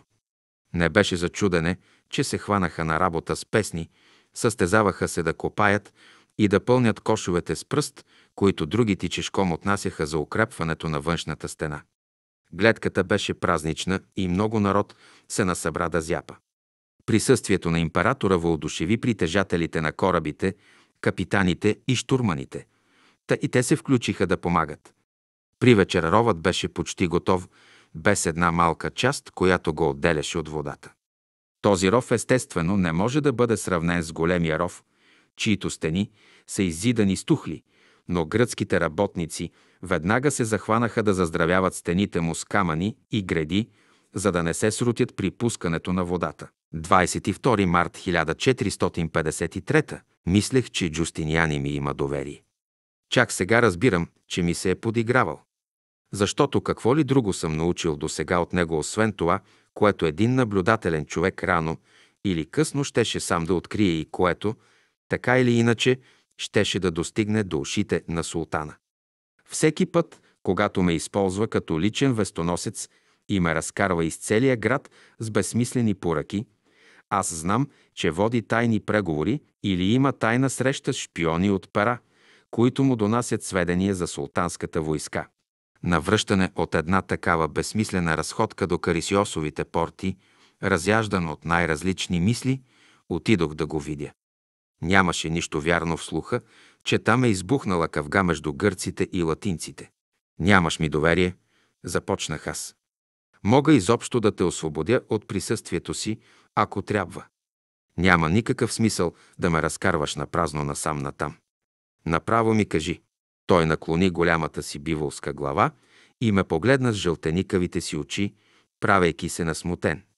В пишната му натура имаше обаяние, на което трудно можеше да се устои. Човек не можеше дълго да му се сърди. Ти си ми приятел, рече той. Защо ти трябва да знаеш повече, отколкото е необходимо?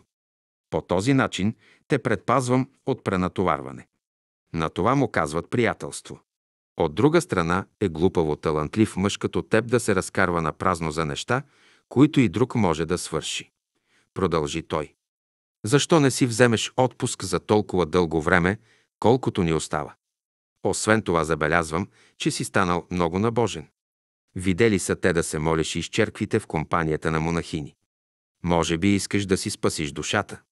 Зато и с готовност ти препоръчвам да си починеш. Джустиниани забеляза израза на лицето ми и побърза да се оправдае. Не забравяй, скъпи ми Жан Анш, че всеки път, когато съм на разговор с императора, Францес ме дръпва на страна, моли, заплашва и кълне да те освободя от службата ти при мен. Казва ми, че постъпвам глупаво, като държа змия в скута си. За да те предпази от изкушение, иска да те затвори в мраморната кула. Мраморната кула е много удобно място за молебени пости. Не спираше да ме дразни той. Вероятно и там добрите сестри ще ти донесат кошничка с храна. Можеш да миеш краката им в канала, през който изхвърлят в морето телата на екзекутираните. Както желаеш. Страните ми пламнаха от срам. Не бях и предполагал, че е наредил да ме шпионират край златните порти. Монахинята е дъщеря на обощар, сконфузих се аз. Приятел на слугата ми Мануил. Веднъж ми донесе кошничка с храна, тъй като болните колене на Мануил не издържат такива дълги разстояния, след което нарани крака си на един камък. Аз умея да лекувам и не се срамувам да помогна на ближния си. Безспорно, безспорно, потвърди Джустиниани, кимайки с глава. Дори Христос се унижавал да мие краката на учениците си. Не се нуждае от обяснение. Времето е кратко и бързо изтича между пръстите ни. Използвай го както намериш за добре. Това не е вод на недоверие, а напротив, приеми го като заслужена награда. Каквото и да си мисля за него, не мога да не го харесвам. Ако не му бях симпатичен, той едва ли щеше да се отнася добре с мен. Вярно е, че му подарих скъпоценните камъни, но не си въобразявам, че съм го подкупил. Ако счете за необходимо, той ще ме обеси без милост или ще позволи да ме затворят в мраморната кула. Но ми няма доверие. Така значи, а обощарска дъщеря, извика той през смях след мен. В Константинопол дори дъщерите на обощарите имат крака на принцеси. 25 март 1453 преди две денонощия султанът е потеглил от Адрианопол. Броени са дните, що ни остават. Монасите от манастира при кладенеца на Светата Божа майка, който е разположен извън стените, отказват да го напуснат. И зад дебелите му довари с мечове и стрели, те са успели до сега да отблъснат всички опити на безчинстващите турски банди да го превземат. До ден днешен за неговата защита бяха отделени десетина войника. Днес те всички бяха изтеглени в града. Не можем да си позволим да загубим нито един от тях. Но калугерите отказват да напуснат обителта, а императорът не желая на сила да ги изкара. Селимбрийската твърдина на брега на Мармара все още се държи, въпреки слуховете в града, че отдавна е паднала в ръцете на агарените, така както всички останали кули и крепости по брега и навътре в страната. Нередовните турски пълчища са я обсъдили и чакат пристигането на султана. Под прикритието на нощта оттам успя да се промъкне мъничък кораб и да донесе вест. Питаха могат ли да предадат крепостта. Силите им са малки и не стигат, за да пробият обкръжението и да се доберат до Константинопол. Турските кораби са затворили пристанището. Молят императора да изпрати галеоните да ги приберат. Вятърът обаче не е подходящ. Пък и никой отговорен военачалник няма да рискува флотата си, за да спаси живота на една шепа войници, изпаднали в беда. Те са загубени. Оказвайки съпротива на турците, сами са подписали смъртната си присъда. Император Константин им изпрати вест, която гласи «Уповавайте се в Бога, аз вече с нищо не мога да ви помогна».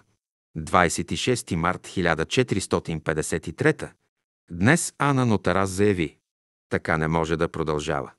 Вече не се караме. Черни съдбовни облаци са надвиснали над главите ни. Очакването ни е хванало за гърлата и тегне като камък в сърцата ни. Така потиснат очаквах веднъж смъртта, окован с вериги за каменна стена. Но тогава не жалех за нищо и нямах нищо за губене. Сега мога нея да загубя. Не, така не може да продължава, признах аз. Хората започват да се съмняват. Някой може да те познае. Улиците и стените имат уши и очи. Баща ти може да научи и да те прибере. Не ме е страх от баща ми, рече тя. Облеклото на монахиня ме пази. Нямах това предвид. Бяхме стигнали до края на полуострова, под чинарената сянка на Акропола и бяхме полегнали върху пожълтелите мраморни стъпала. Гущерче притича върху камъка, под нас мармара бляскаше като сребро, а Босфорът се точеше като синя пандълка между избоялите в зеленина пролетни хълмове. И зад пристанището се въздигаха крепостните стени на пера, звеещото се на кулите кръстоносно знаме на Генуа. Кариклея не беше с нас. Остана да пере дрехи в къщата ми и да забавлява Мануил с нескончаеми легенди за светици и светци. Бях пил много вино този ден, но въпреки това не ме свърташе на едно място. Безпокойството ни тласкаше навън, под открито небе. Доверявахме се на щастието си с лекотата, с която можехме да бъдем открити. Не, нямам това предвид, повтори тя. Знаеш много добре за какво говоря. Челото й беше почервеняло от слънцето. Ана протегна загорелите си крака и зарови босите си пръсти в тревата. Страните й порозовяха, а устните й се усмихваха, но в нейните кафяви очи трепкаше неизречена тъга. Расото ми е само маскарад, рече тя. Не съм монахиня. След като се отказах от дом, семейство и възпитание, аз съм по-здрава и по-щастлива от преди. Хлябът ми е сладък, леко ми се диша. Живея. Съществувам. Имам тяло, което ме прави неспокойна. Аз уважавам твоето облекло, рекох сухо. Точно така, обвини ме тя. Прекалено много зачиташ моето расо. Светостта те плаши. Не смееш да ме докоснеш. И това ми е достатъчно, отвърнах аз. Да съм с теб. Да те обичам.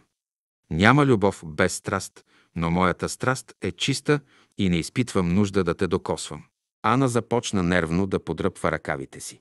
Няма любов без страст, повтори тя. Не съм на годините ти и нямам твоя опит. Може би си прав. Може би не си заслужава да се обръща внимание на страста, но тялото ми се опитва да ме убеди в обратното. То се разтреперва всеки път, щом положиш ръка на коляното ми. Защо не правиш вече така? Не мисли, че съм ангел, уверих я аз. Умееш превъзходно да се владееш, отбеляза тя. Никак ли не те изкушавам? Ана присви крак и погали разголеното си коляно, поглеждайки ме през полуспуснати клепачи. Но ако се бях опитал да я докосна, веднага щеше да ме отблъсне. Говореше така само за да ме дразни. Голям грях извърших, като не оправдах бащиното си доверие, заяви тя. Помислих си, че ще мога да го изкупя, ако живея и се моля в метоха. Решила бях никога вече да не те видя. През главата ми минаваше идеята да се подстрижа и да стана монахиня. Кажи ми, скъпи мой, хората винаги ли се самозалъгват, за да получат това, което желаят? Хората са неизлечими лъжци, отбелязах аз. Вярват във всичко, в което се надяват, и се самоубеждават, че това, което желаят, е правилно. Но дълбоко в сърцето си никой никога не може да се самоизлъже. Йоханес Ангелус дълбокомислено заключи тя. Струва ми се, че ще е най-добре и за двама ни, ако се ожениш за мен. След което сложи ръка на устата ми, за да ми попречи да говоря. Вярно е, че според латинската вяра ти си вече женен и че жена ти е още жива, но какво от това? Ако се откажеш от еретическата си вяра и произнесеш истинското верою на глас, може наново да бъдеш покръстен. Безчет са поповете, които в нашия случай ще провъзгласят предната ти женитба за невалидна и с готовност ще ни венчаят, ако не за друго, то за да си отмъстят на латинците. Какво значение ще има всичко това? Запитах аз. В сърцето си аз съм женен за мадам Гита и не мога да наруша светото причастие. Дори папата не може да освободи сърцето ми от брачните вериги, след като по собствена воля съм встъпил в тях. Ана ме погледна през гъстите си мигли с омраза. А, така значи. Гневно извика тя. Гита е по-важна от мен. Аз ли съм ти виновна, че си захвърлил своя живот в скута на една непозната жена, която след това ти е омръзнала? Ти дори вече не можеш да се смееш. Ако умееше, щеше да се ожениш за мен. Защо не искаш поне моята съвест да е спокойна? Така или иначе за своята спокойствие не ще намериш, каквото и да правиш. Нито пък ти, отвърнах аз. Такава женитба нищо не означава. Без родителска благословие и под напълно чуждо име тя може да бъде оспорвана както от светските, така и от църковните съдилища. Оспорвана, да, съгласи се тя. Но поне ще е легална, а не престъпление. Защо да не се венчаем православно, пък ако ще и тайно? Бих могла да дойда да живея при теб в твоята къща. Ще мога всяка сутрин да се събуждам в леглото до теб. Не си ли заслужава само заради това малко да поразтегнеш абсурдно закостенялата си съвест? Погледнах в очите й. Ти си моят грях. Подех аз. И този мой грях само расте, ако заради теб престъпя светото причастие.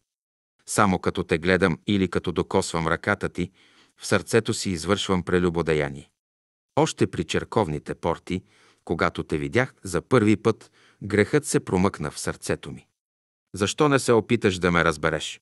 Защо не се задоволиш с това да си само човек и малко да се спазариш със собствената си съвест? Упорито продължаваше Ана. В същото време руменината по лицето й потъмняваше и се разнасяше по шията. Вярно е, че всеки път, когато те погледна, аз те любя, призна тя. В сърцето си вече съм прегрешила с теб, въпреки че според земните закони все още не съм извършила нищо лошо. Не разбираш ли? Опитвам се да предпазя тебе и себе си от земните правила, за да не може никой да ни обвини, ако нещо се случи между нас двамата.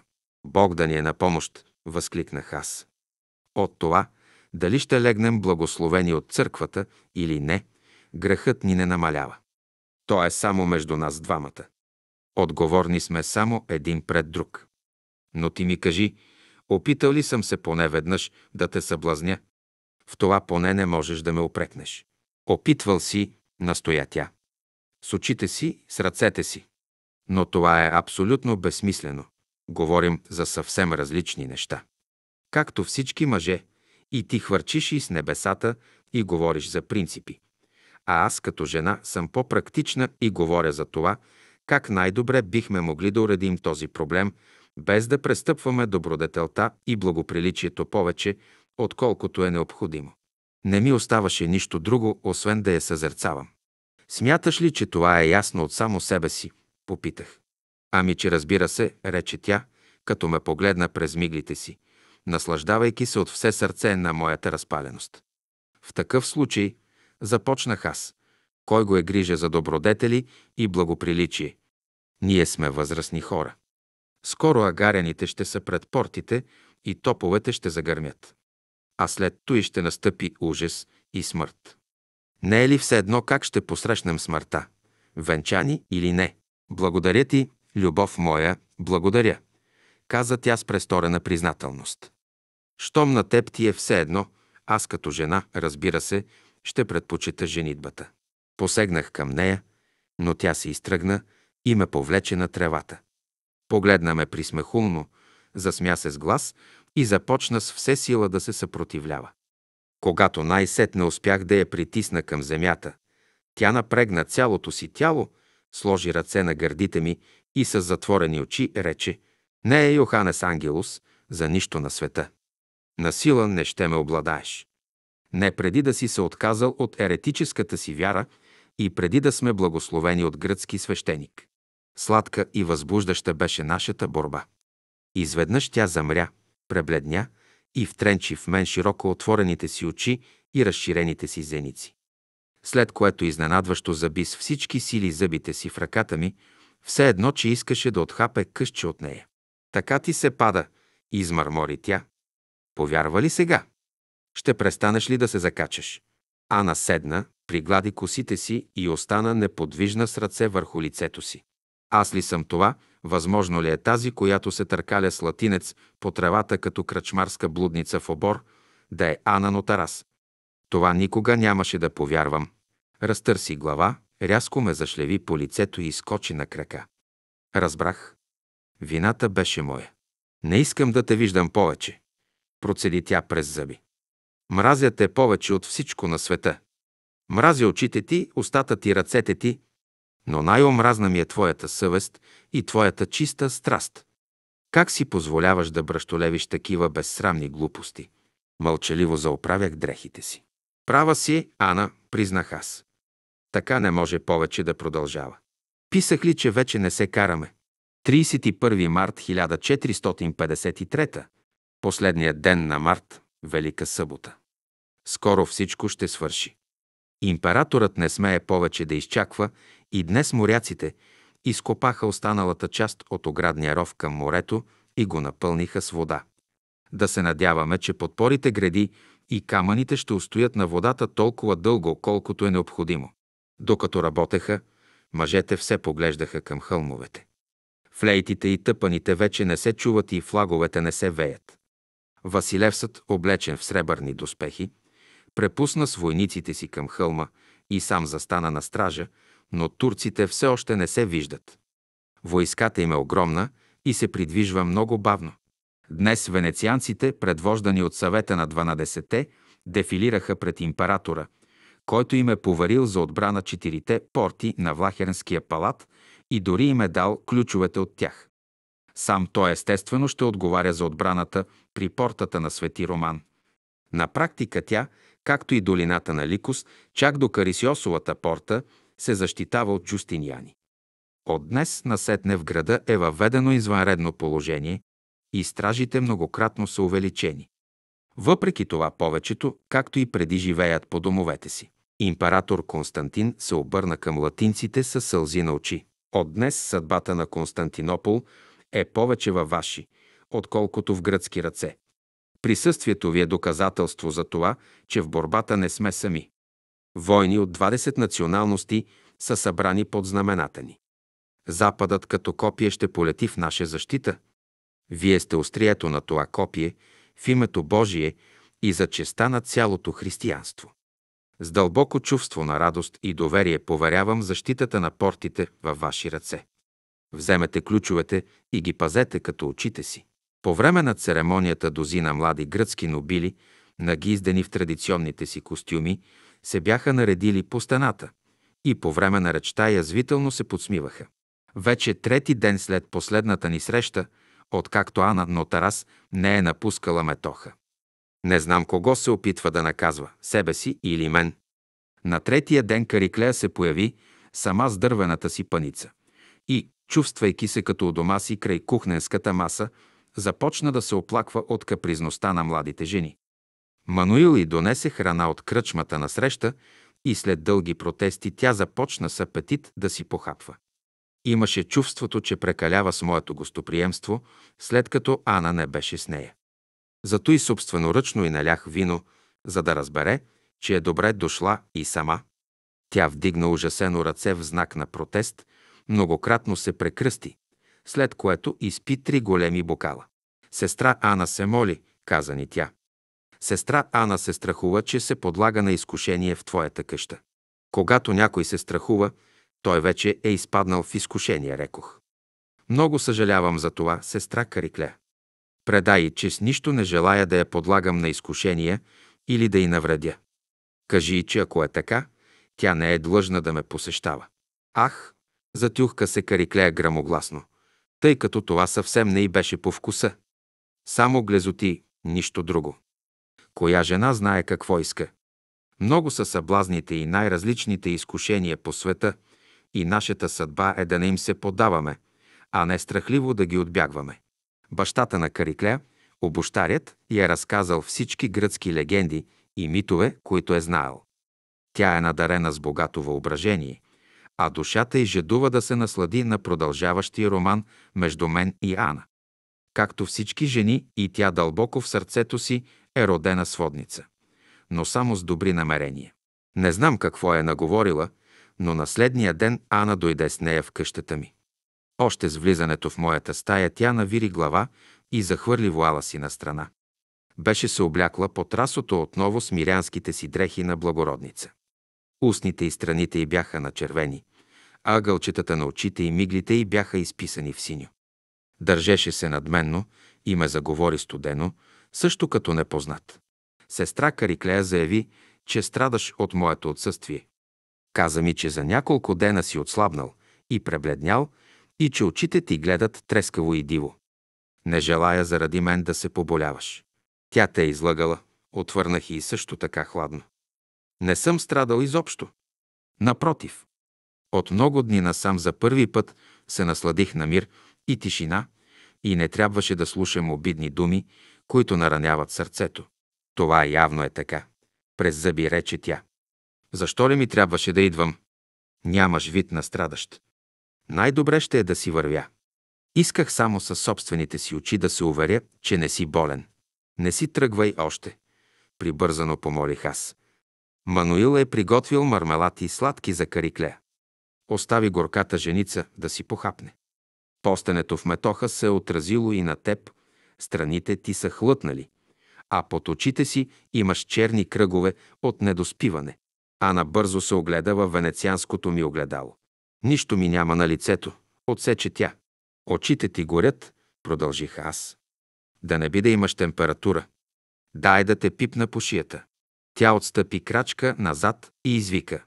В никакъв случай ще те ударя, ако само се опиташ. След което беше вече в прегръдките ми. Галехме се и се целувахме ненаситно.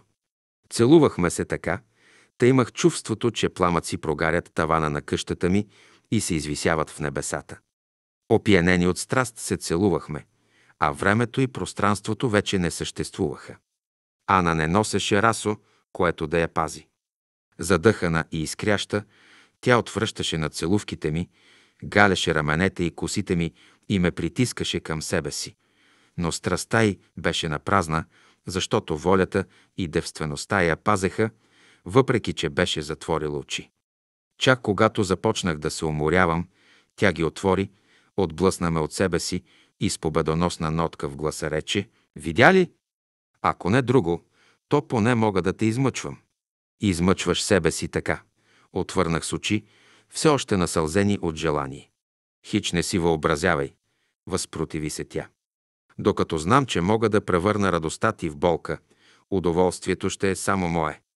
Бъдещето ще покаже кой от нас е по-силен. Отначало се притеснявах от своята неопитност, но вече започвам да освоявам маниерите на западните страни. С треперещи ръце Ана започна да оправя роклята и косата си пред огледалото.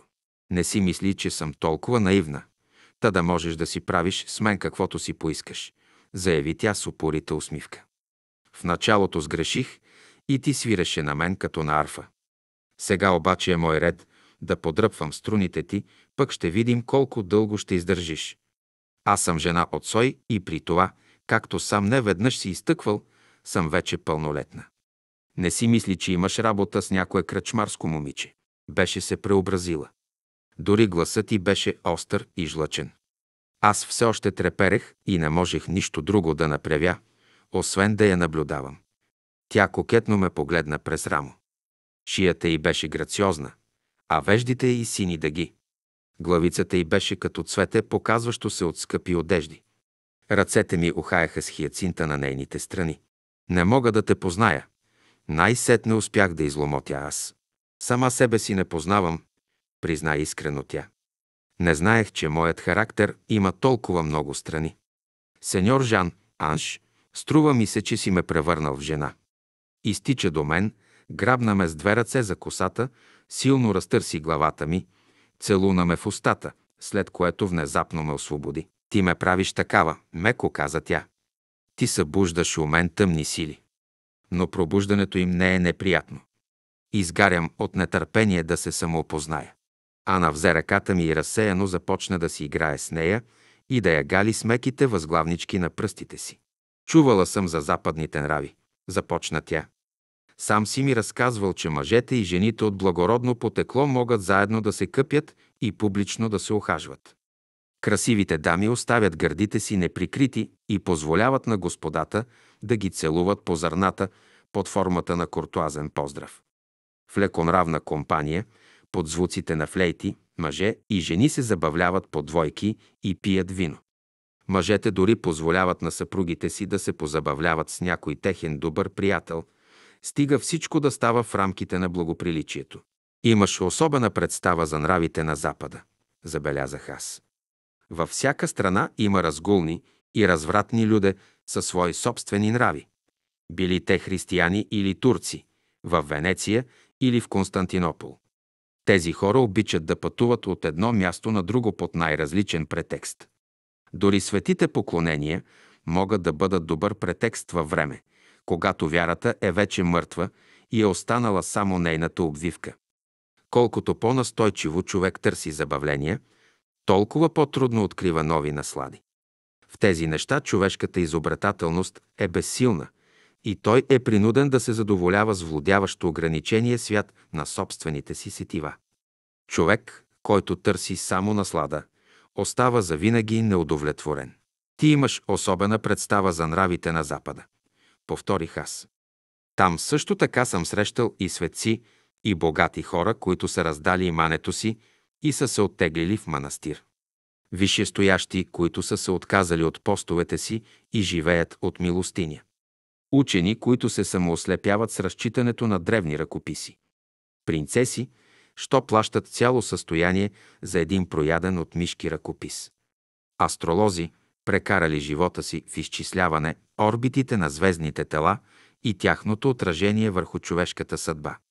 Търговци, дето са измислили двойното счетоводство, с помощта на което по всяко време могат да изчислят своето състояние. Пеещи и танцуващи глупаци има във всяка страна. Само формите за общуване между мъжете и жените са различни. Речта ми ни най-малко не я развълнува.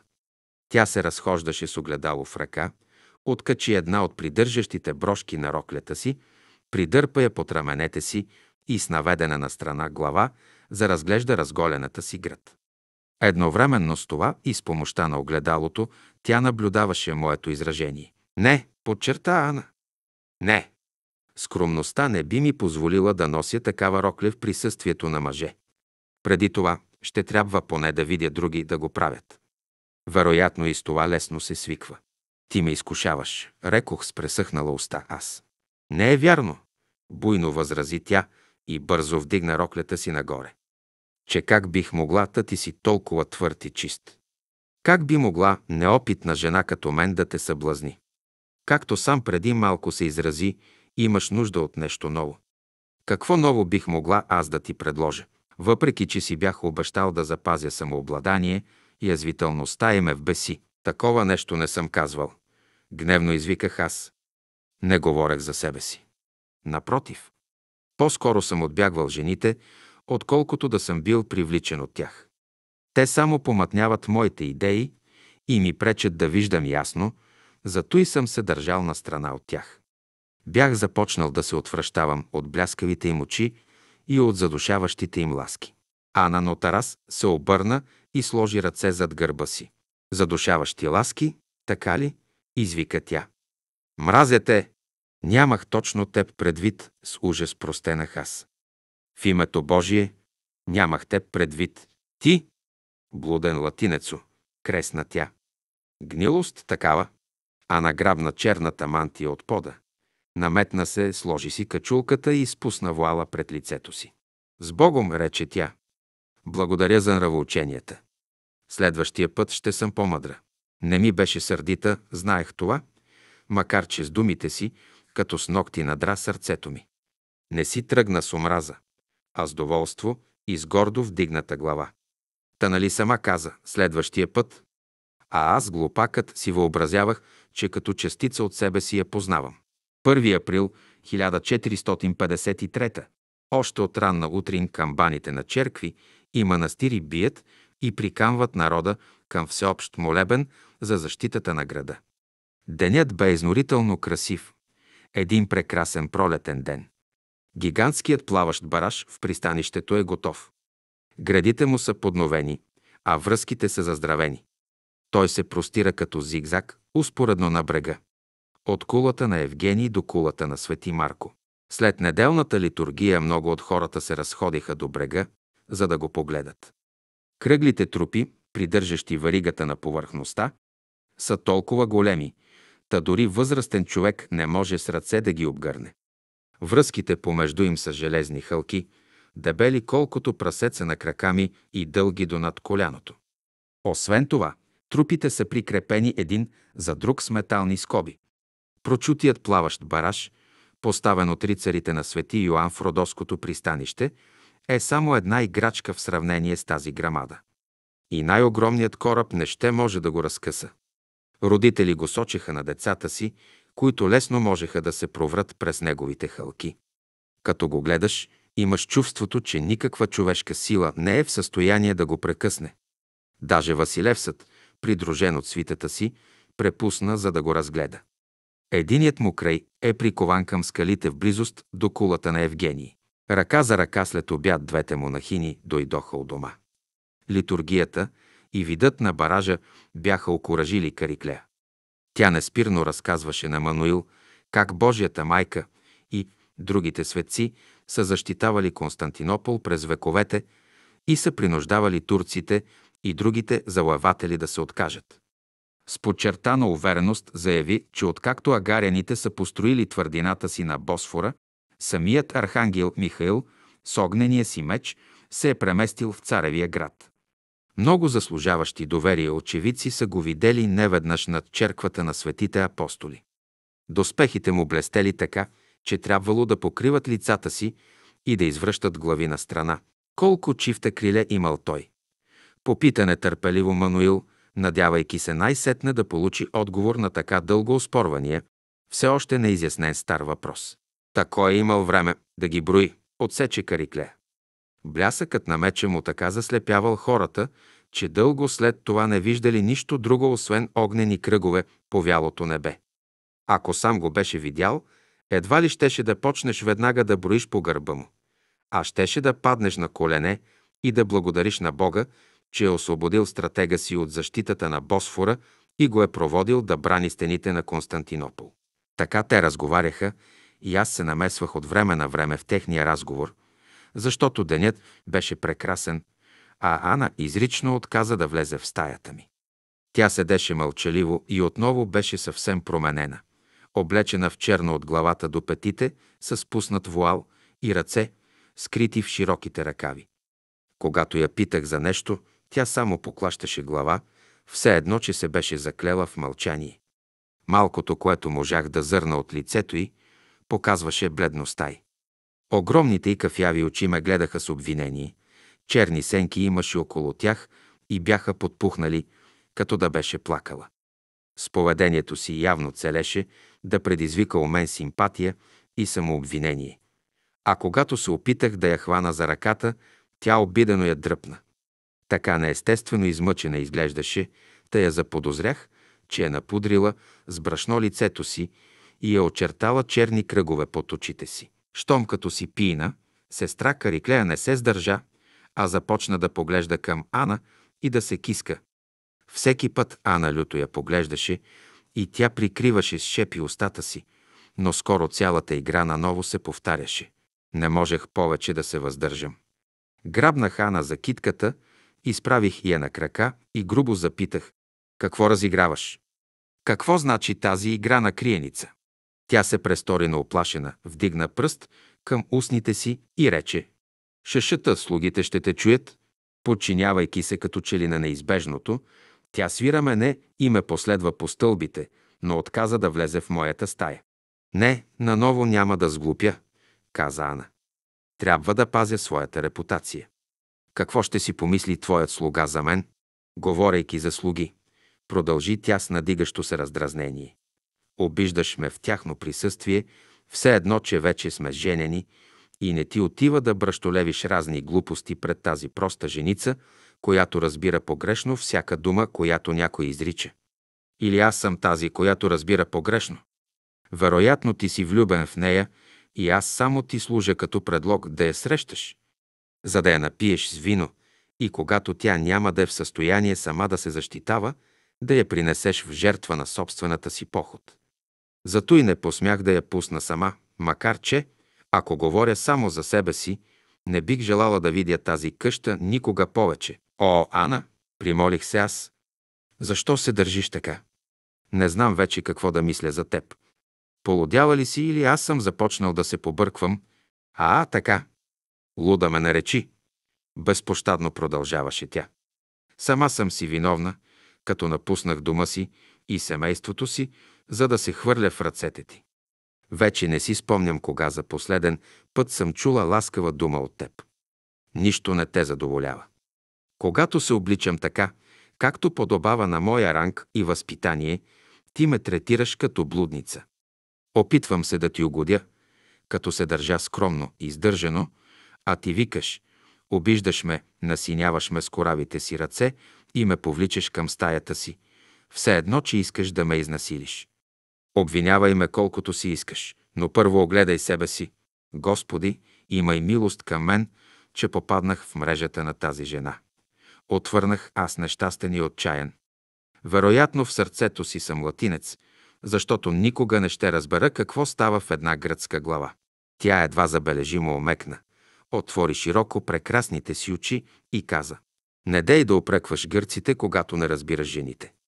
Може би все пак не си авантюрист и женкар, а мъж, твърде неопитен в тези работи, и за това аз ще те извиня за непристойното ти държане. Прости ми, възкликнах яростно аз. Кой от нас има нещо за прощаване? Но въпреки това, прости ми, смирено ще те моля за прошка, само за да сложиш край на този маскарад.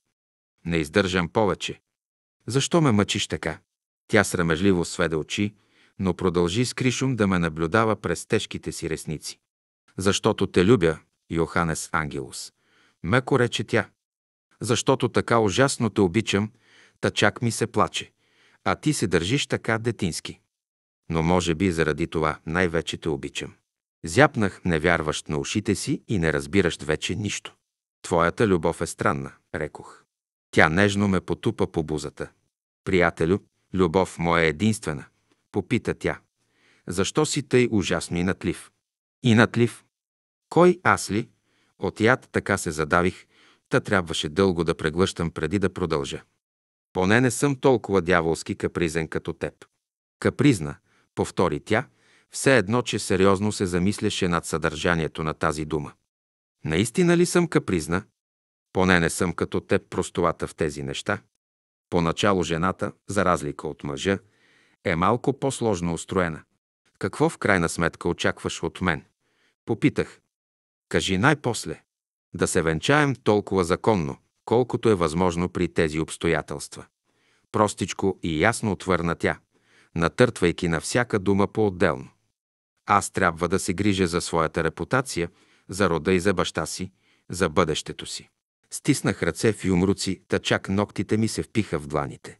Бъдещето не съществува, с принудено спокойствие започнах аз.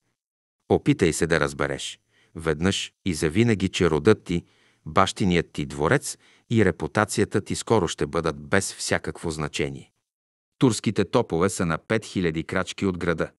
Толкова са много, че никой не може да ги преброи. Ние нямаме никакво бъдеще. Никакво, никакво. Запомни това. Тогава защо така упорито се противиш, каза тя, налагайки си като мен спокоен тон. Ако наистина нямаме никакво бъдеще и нищо вече не е от значение, тогава защо в името Божие не удовлетвориш това мое дребничко желание? Църквите ни са обединени, обясних. Опитай се да разбереш това. Унията е провъзгласена. Всяка латинска венчавка е толкова официална, колкото и гръцката, и аз ще престъпя светото причастие, ако си позволя да се оженя отново. Това е въпрос на принцип за Бога. Та нали край Варна не се отказах от вярата си и не приех исляма, макар че ятаган висеше над главата ми. Срамно ще е сега да се отрека, заради женските ти капризи и за да ти угодя. В много от черквите вероюто все още се чете без допълнение. Твърдоглаво упорстваше тя. Венчавките, погребенията и кръщанетата все още се извършват както преди, а Григорий Мамас е лъжепатриарх и е отлъчен от Светия Синод. Дори сам папата не може да му помогне, защото той е само сянка, назначена от Василевса. Истинската гръцка църква се е прикрила зад тази сянка, но ще се появи, когато и дойде времето. Присъедини се към нея и безсмисленият ти предишен брак ще стане невалиден, все едно, че никога не е съществувал. Заудрях се в гърдите си умруци и заскубах косите си. Защо се родих на този проклет свят? Горчиво простенах аз. Защо не мога да живея така, както сам желая, в разбирателство и мир със собствената си съвест? Какво е това проклятие, което тегне над мен? И ти ли ще ме преследваш с попове и адвокати, макар че още не съм те докоснал? Няма и да ме докоснеш. Никога. Ако ще да умирам, възкликна тя. И за мен е въпрос на принципи, за които ти все така натякваш. Живей със съвестта си, но знай, че ще живееш и ще умреш самотен. Живеем сред хора, а не сред богове. Сред хората човек трябва да умее да се нагажда и да отстъпва. Заради теб аз се отрекох от баща си и от дома си. Ти също ще трябва от нещо да се отречеш или ще започна да мисля, че не сме един за друг. Ще трябва да избереш, ми каза ти веднъж. Е, добре, сега е твой ред. Избирай. Това е моята последна дума. Аз се втурнах в стаята си, заслепен от сълзи и гняв, запасах сабята си, обух бутушите си и навлякох стоманена ризница. С Богом, Ана! Извиках, като се спуснах по стълбите покрай нея. От тук насетне ме търси по крепостните стени. В ръката си държиш ябълка, но не смееш да я отхапеш, защото те е страх, че може да е червива. На, вземи си ябълката обратно. Кресна в отговор тя и за покити подире ми първия паднал под ръката и предмет. Един скъп стъклен фенер, който се разби в моята глава и посипа врата ми с стъкла. Но аз не усетих нищо тогава. Тряснах входната врата зад гърба си така, че цялата къща се разтресе. Ана изтича подира ми, отвори портата и неспокойно извика. Хей, да не си наранен! Не се обърнах. Затичах по улицата, все едно, че дявол ме гонеше, а ризницата се раздранча на гърба ми. Така безумно я обичам. 4 април 1453. В понеделник плаващият бараж бе изнесен на мястото му и сега той затваря пристанището от кулата на Евгений до кулата на галата край пара. Нито един кораб, дори да иска, не може вече да се измъкне от никъде. От бряг до бряг веригата плува като водна змия. След като напуснах дома си, аз безпрепятствено се присъединих към подсилената стража край Свети Романовата порта. Латинците мързеливо се излежават по кулите и бойниците, варят агнешко в казанчетата си, играят карти и пият вино. Гърците пеят химни и се молят. Вестовите стоят по стените. От време на време някой от тях си въобразява, че вижда движещи се сенки в тъмната нощ и хвърля запалена факла или изстрелва горяща стрела през защитния ров. Но зад стената е само мъртвата пустош. Скоро ще настъпи краят на готвенето и в казанчетата ще започнат да топят олово и да варят смола. По стените е разположена цяла батарея тънкоцеви уръдия с пряко прицелване, а също така и няколко огромни бомбарда, които изплюват геолетата си по траектория, прилична на дъга. Но техните трясъци повече вредят на стените, отколкото на врага. Те дори не са изпробвани. Барутът се пести за мускетите, които стрелят с оловни куршуми. Близо до запчатите бойници императорските техници са инсталирали старовремски балисти и катапулти. Те хвърлят далеч зад рова каменни късове, които обаче летят по-бавно от орадейните шрапнели. Ако може да се избира между барутен пиштов и арбалет, един на 50 ще избере пиштова. Арбалетът е къде по-сигурен и по-безопасен. Хоризонтът е почервенял и латинците се обзалагат за това, дали на сутринта турците ще се появят пред портите. Всички са изнервени и сън не ги хваща. Наемните войници псуват постоянно, а това обижда гърците и те се държат на страна от тях.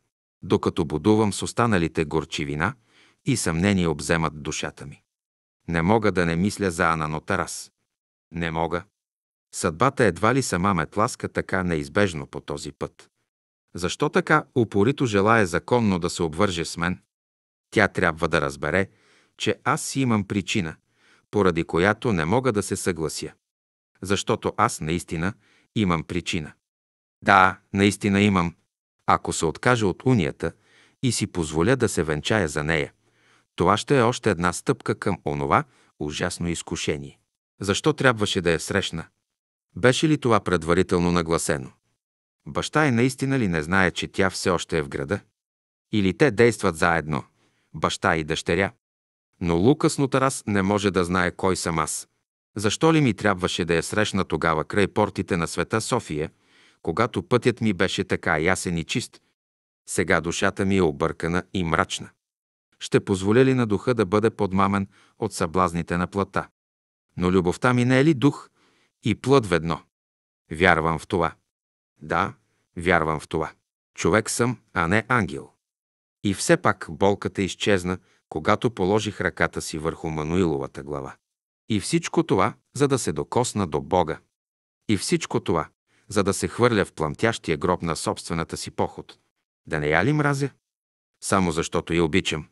5 април 1453 При изгрев слънце по всички пътища и пътеки, водещи към града, се вдигнаха огромни облаци прах. Измежду тях изплуваха първите разпръснати турски войски. Съзирайки стените, те призоваваха Аллах и неговия пророк и размахваха оръжията си. Кървави слънчеви отражения заиграха по остриетата на копия и атагани. Джустиниани изпрати да ме извикат. Той и Василевсът, и двамата на коне, бяха вече при Карисиосовите порти. От двете им страни неколко стотин нобили с труд окротяваха буйните си жребци, които цвилеха и копаеха земята с копитата си. Това бяха същите онези млади мъже, които саркастично се надсмиваха над императорската реч и които играеха по цял ден на топка из хиподрума, красиви и горди младежи, които смятаха, че е под достоинството им дори да говорят с латинците. Да яздиш умееш, Жан Анш, рече Джустиниани. А умееш ли да свириш на тръба? Кимнах утвърдително.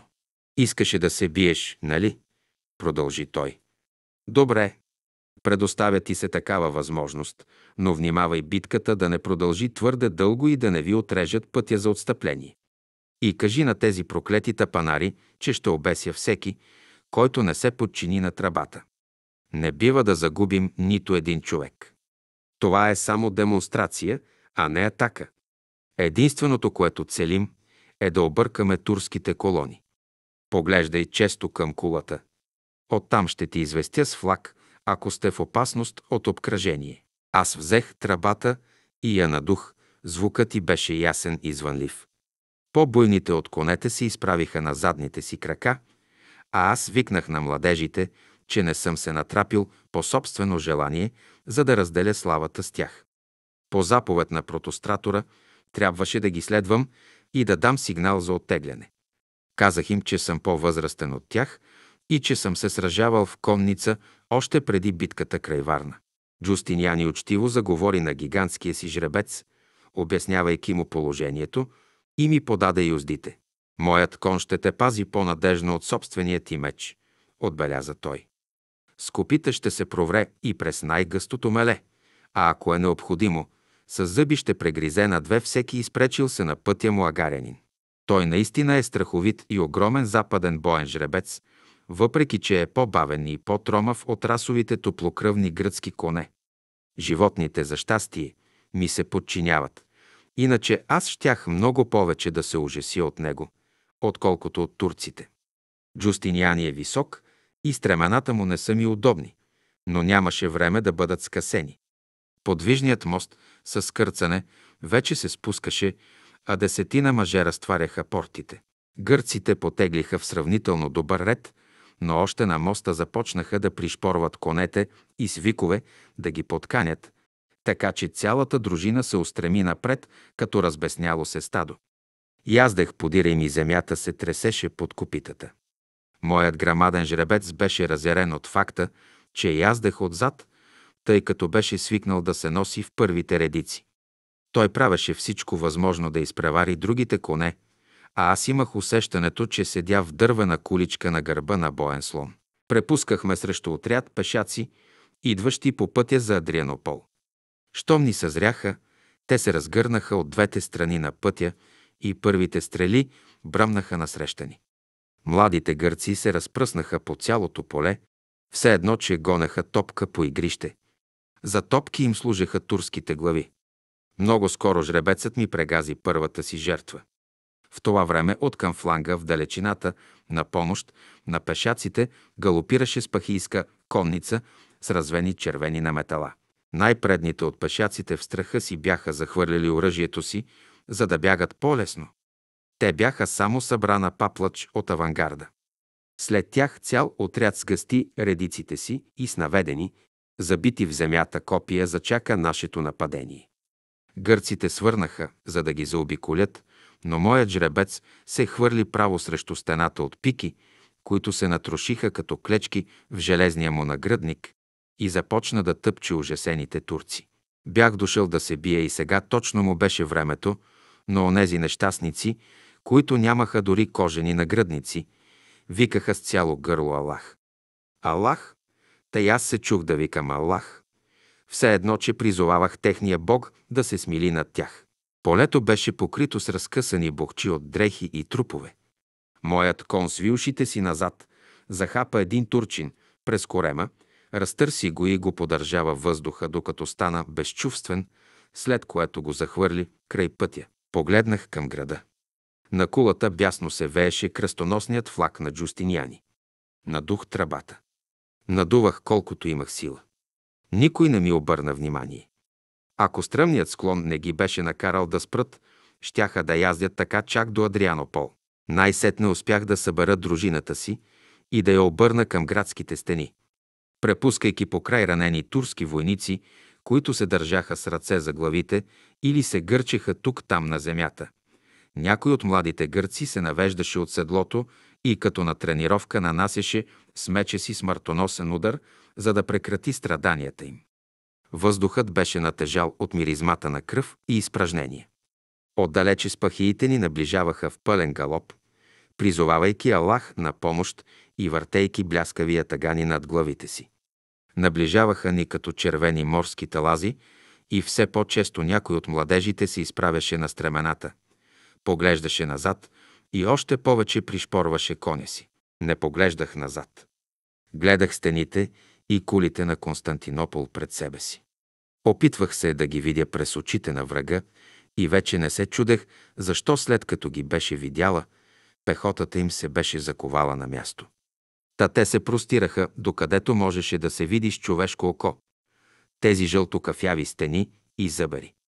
Най-отпред стоеше преградният ров и неговия насип, след него първите външни укрепления, а след тях външната крепостна стена със своите кули, гарнизон и артилерия, която сама по себе си е по-грамадна от която и да е крепост в Европа. Но чак след това се възправяше страховитата, по-висока и от най-високите постройки крепостна стена на Константинопол, ведно със своите могъщи бастиони. Външните укрепления и двете крепостни стени приличаха на три огромни стъпала.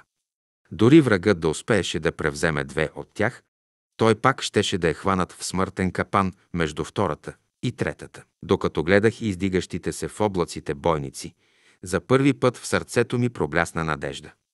Само земетресение може да разруши тези стени, помислих си аз. Копитата на коня ми затрополиха по подвижния мост. Нахвърля и стрела от нас редиците на спахиите с техните пера, нагръдници и развени червени плащове се бяха спрели. Едва бяхме влезли в града и техниците побързаха да разрушат подвижния мост, а зидари стухли и готов хоросан започнаха да зазиждат портите. Останалите четири моста също бяха унищожени, а портите зазидани. Оставаха само тесните врати за излизане, ключовете от които императорът беше поварил на латинците. Турците продължаваха своето настъпление от всички посоки, разгръщаха се около града и спираха извън нашия обсек. Безчетни стада с добитък вървяха след войската. От другата страна на Златния рог, по хълмовете, също се появиха безкрайни пъплещи колони.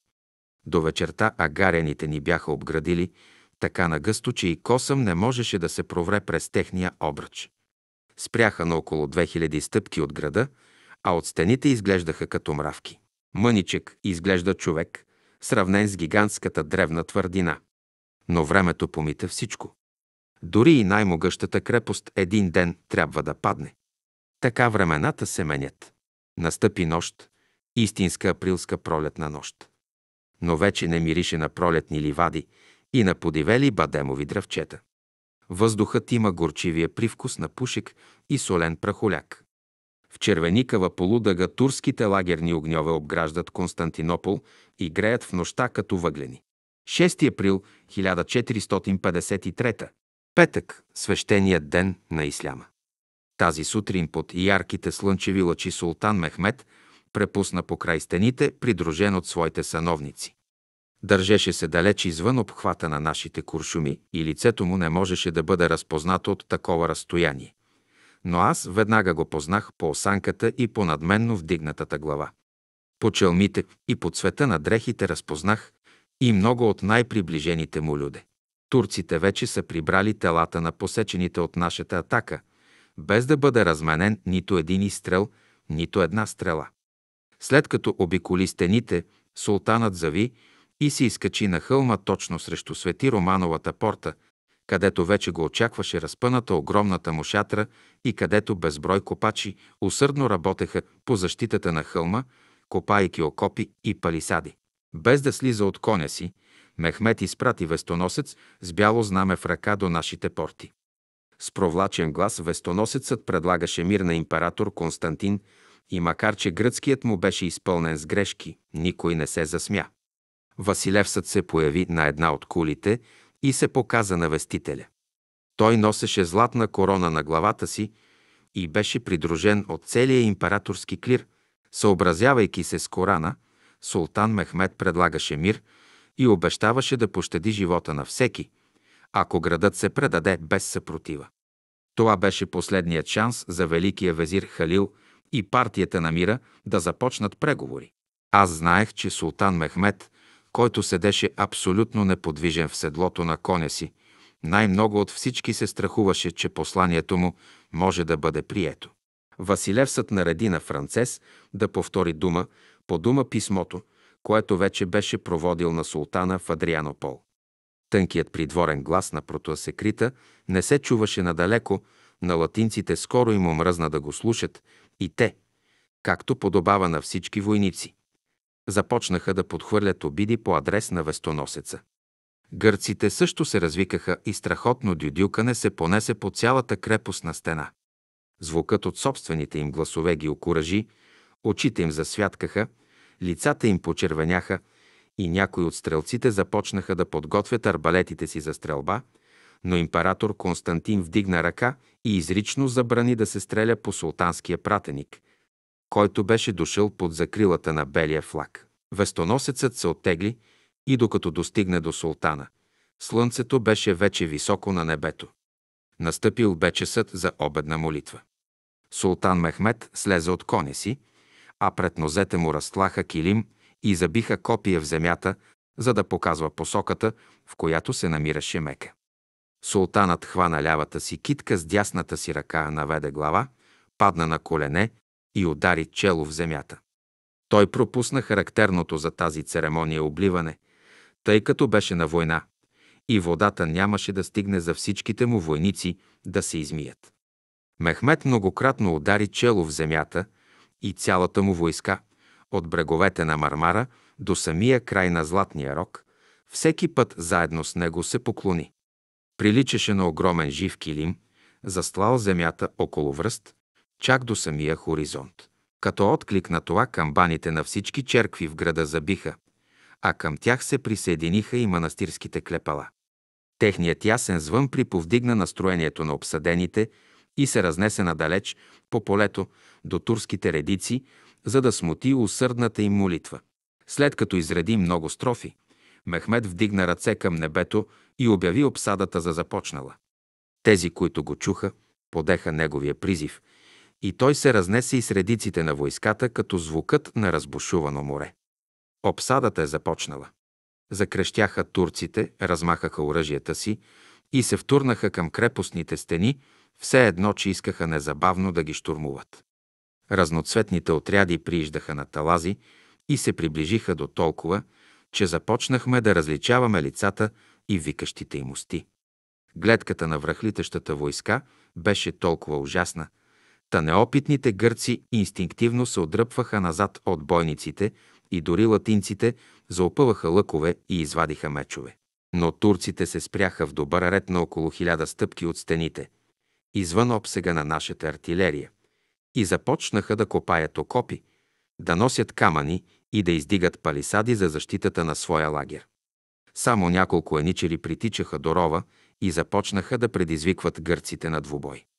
Много от императорските стратори нетърпеливо замолиха Василевса да им разреши да слязат долу и да покажат на агаряните своето бойно умение.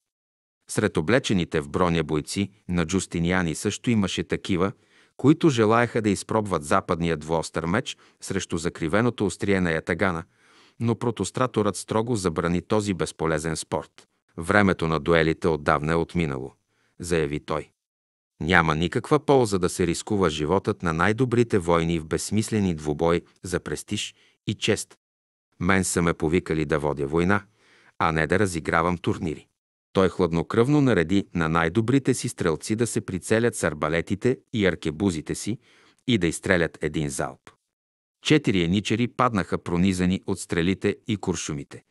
Останалите, вбесени от потъпкването на добрите воински обичаи, с пяна на устата запсуваха гърци и латинци, наричайки ги страхливи гадини, които се осмеляват да стрелят по храбрите мъже само иззад прикритието на крепостната стена. След като още двама бяха повалени, разумът явно започна да наделява, та нарамиха труповете на убитите си другари и се опитаха да се оттеглят. Но сега по тях стреляха от всякъде и мнозина паднаха покосени. Нови еничери се появиха пеш и на бегом и без да се страхуват от куршумите и стрелите, прибраха всички трупове. До преградния ров не остана нито едно тяло. Само няколко кървави петна се открояваха в тревата. Докато турците усърдно се окопаваха, Джустиниани препусна по градските стени и се опита да установи техния брой. Еничерите, които са на лагер около султанската шатра, точно срещу Свети Романовата порта, са 12 000, както вече знаехме. Редовната кавалерия или спахиите са също толкова много. Джустиниани смята, че сравнително добре въоръжената пехота, отчасти облечена в ризници, наброява 100 хиляди. Към това трябва да се прибави и почти същото число на редовна войска, състояща се от бедняци, присъединили се от религиозен фанатизъм или от жажда за грабеж, облечени в дрипи и въоръжени с саби и прашки. Някои от тях носят малки дървени щитове, покрити с кожа. Само около една четвърт от султанските войници имат подплатени кожени ризници. Броят на турските отряди е ужасяващо голям, но Джустиниани смята, че леките нередовни войски са без особено значение. След обиколката си той не беше особено потиснат. Просто се чудеше къде все още се губи прехвалената султанска артилерия. За да повиши бойния дух на защитниците, император Константин оговори с Алойзио Диедо венецианските галеони да направят с развети флагове малък морски парад пред стените. Под ударите на барабани и под звуците на фанфари лъвското знаме на Свети Марко заплющя на вятъра. Тази демонстрация, несъмнено, беше значителна политическа победа за Василевса, тъй като султанът трябваше да е разбрал, че е във война, също така и с Венеция. Преди настъпването на нощта стана ясно каква е била цената на този парад. Василевсът се изнесе от Влахерския палат и вдигна лагер със своите стратори близо до Джустиниани, в средата на крепостните стени. В пустия дворец се нанесе венецианският байло начело на гарнизон от доброволци.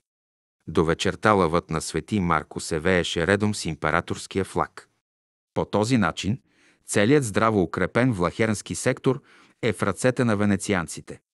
Ако все пак градът успее да отблъсне турците, венецианската окупация на палата може да се окаже от злокобно значение. Джустиниани обаче, заедно с облечените си в желязо мъже, държи в ръцете си най-почетното място от защитата – портата на Свети Роман, точно срещу султанските еничери. Там той е разположил поне 3000 от своите най-добри войни. А какъв е броят на защитниците? Само императорът и Джустиниани знаят това, но протостраторът е дал да се разбере, че половината от гарнизона е разположен между Карисиосовата и Свети Романовата порта. От това изглежда, че цялата наша отбранителна сила, включваща монасите и за неячиите не е повече от 6000. Трудно ми бе да повярвам в това. Венецианските моряци са около 2000, но част от тях трябва да пазят корабите и пристанището. Зато изчитам, че имаме поне 10 000 по стените, макар че само 1000, като изключим 600-те на Джустиниани, са напълно въоръжени. И така 10 000 срещу 200 000, като се има предвид, че султанската артилерия все още не бе пристигнала, а нямаше и следа от турската флота. Зато и пък в следобедните часове по посока на Селимбрия се чуваха отделни бумтежи, като от грамотевици, макар че небето беше съвсем ясно. От към сините острови в Мармара черен пушик се издига в небето като изполинска колона. 7 април 1453 през нощта пред Селимбрийската порта бяха въздигнати на показ обезобразените и набити на колове тела на тези, що се бяха сражавали до край за защитата на Селимбрия. Коловете и труповете бяха 40 на брой. От Кампера се носи слух, че султанската флота в продължение на два дни на празно се опитвала да превземе последната останала твърдина на островите в Мармара. Вчера адмиралът на агарянската флота наредил да натрупат огромни купища дърва около кулата и изгорил защитниците и живи. Гърците знаят как да умират, защитавайки всяка педия от своята разпадаща се империя. Варвари от изток, варвари от запад. На границата между два свята последният Христов град се бие за своя живот, без надежда за помощ, без да търси слава. Голи обезобразени тела, набити на колове и покрити с рояци от мухи. Облечен от главата до петите в желязо. Една глава по-висок от всички джустиняни се разхожда и се смее. Подвижна кула с подпухнало лице и безмилостни очи. Днес, след като видях набитите на колове тела на селимбрийските защитници, аз го мразя.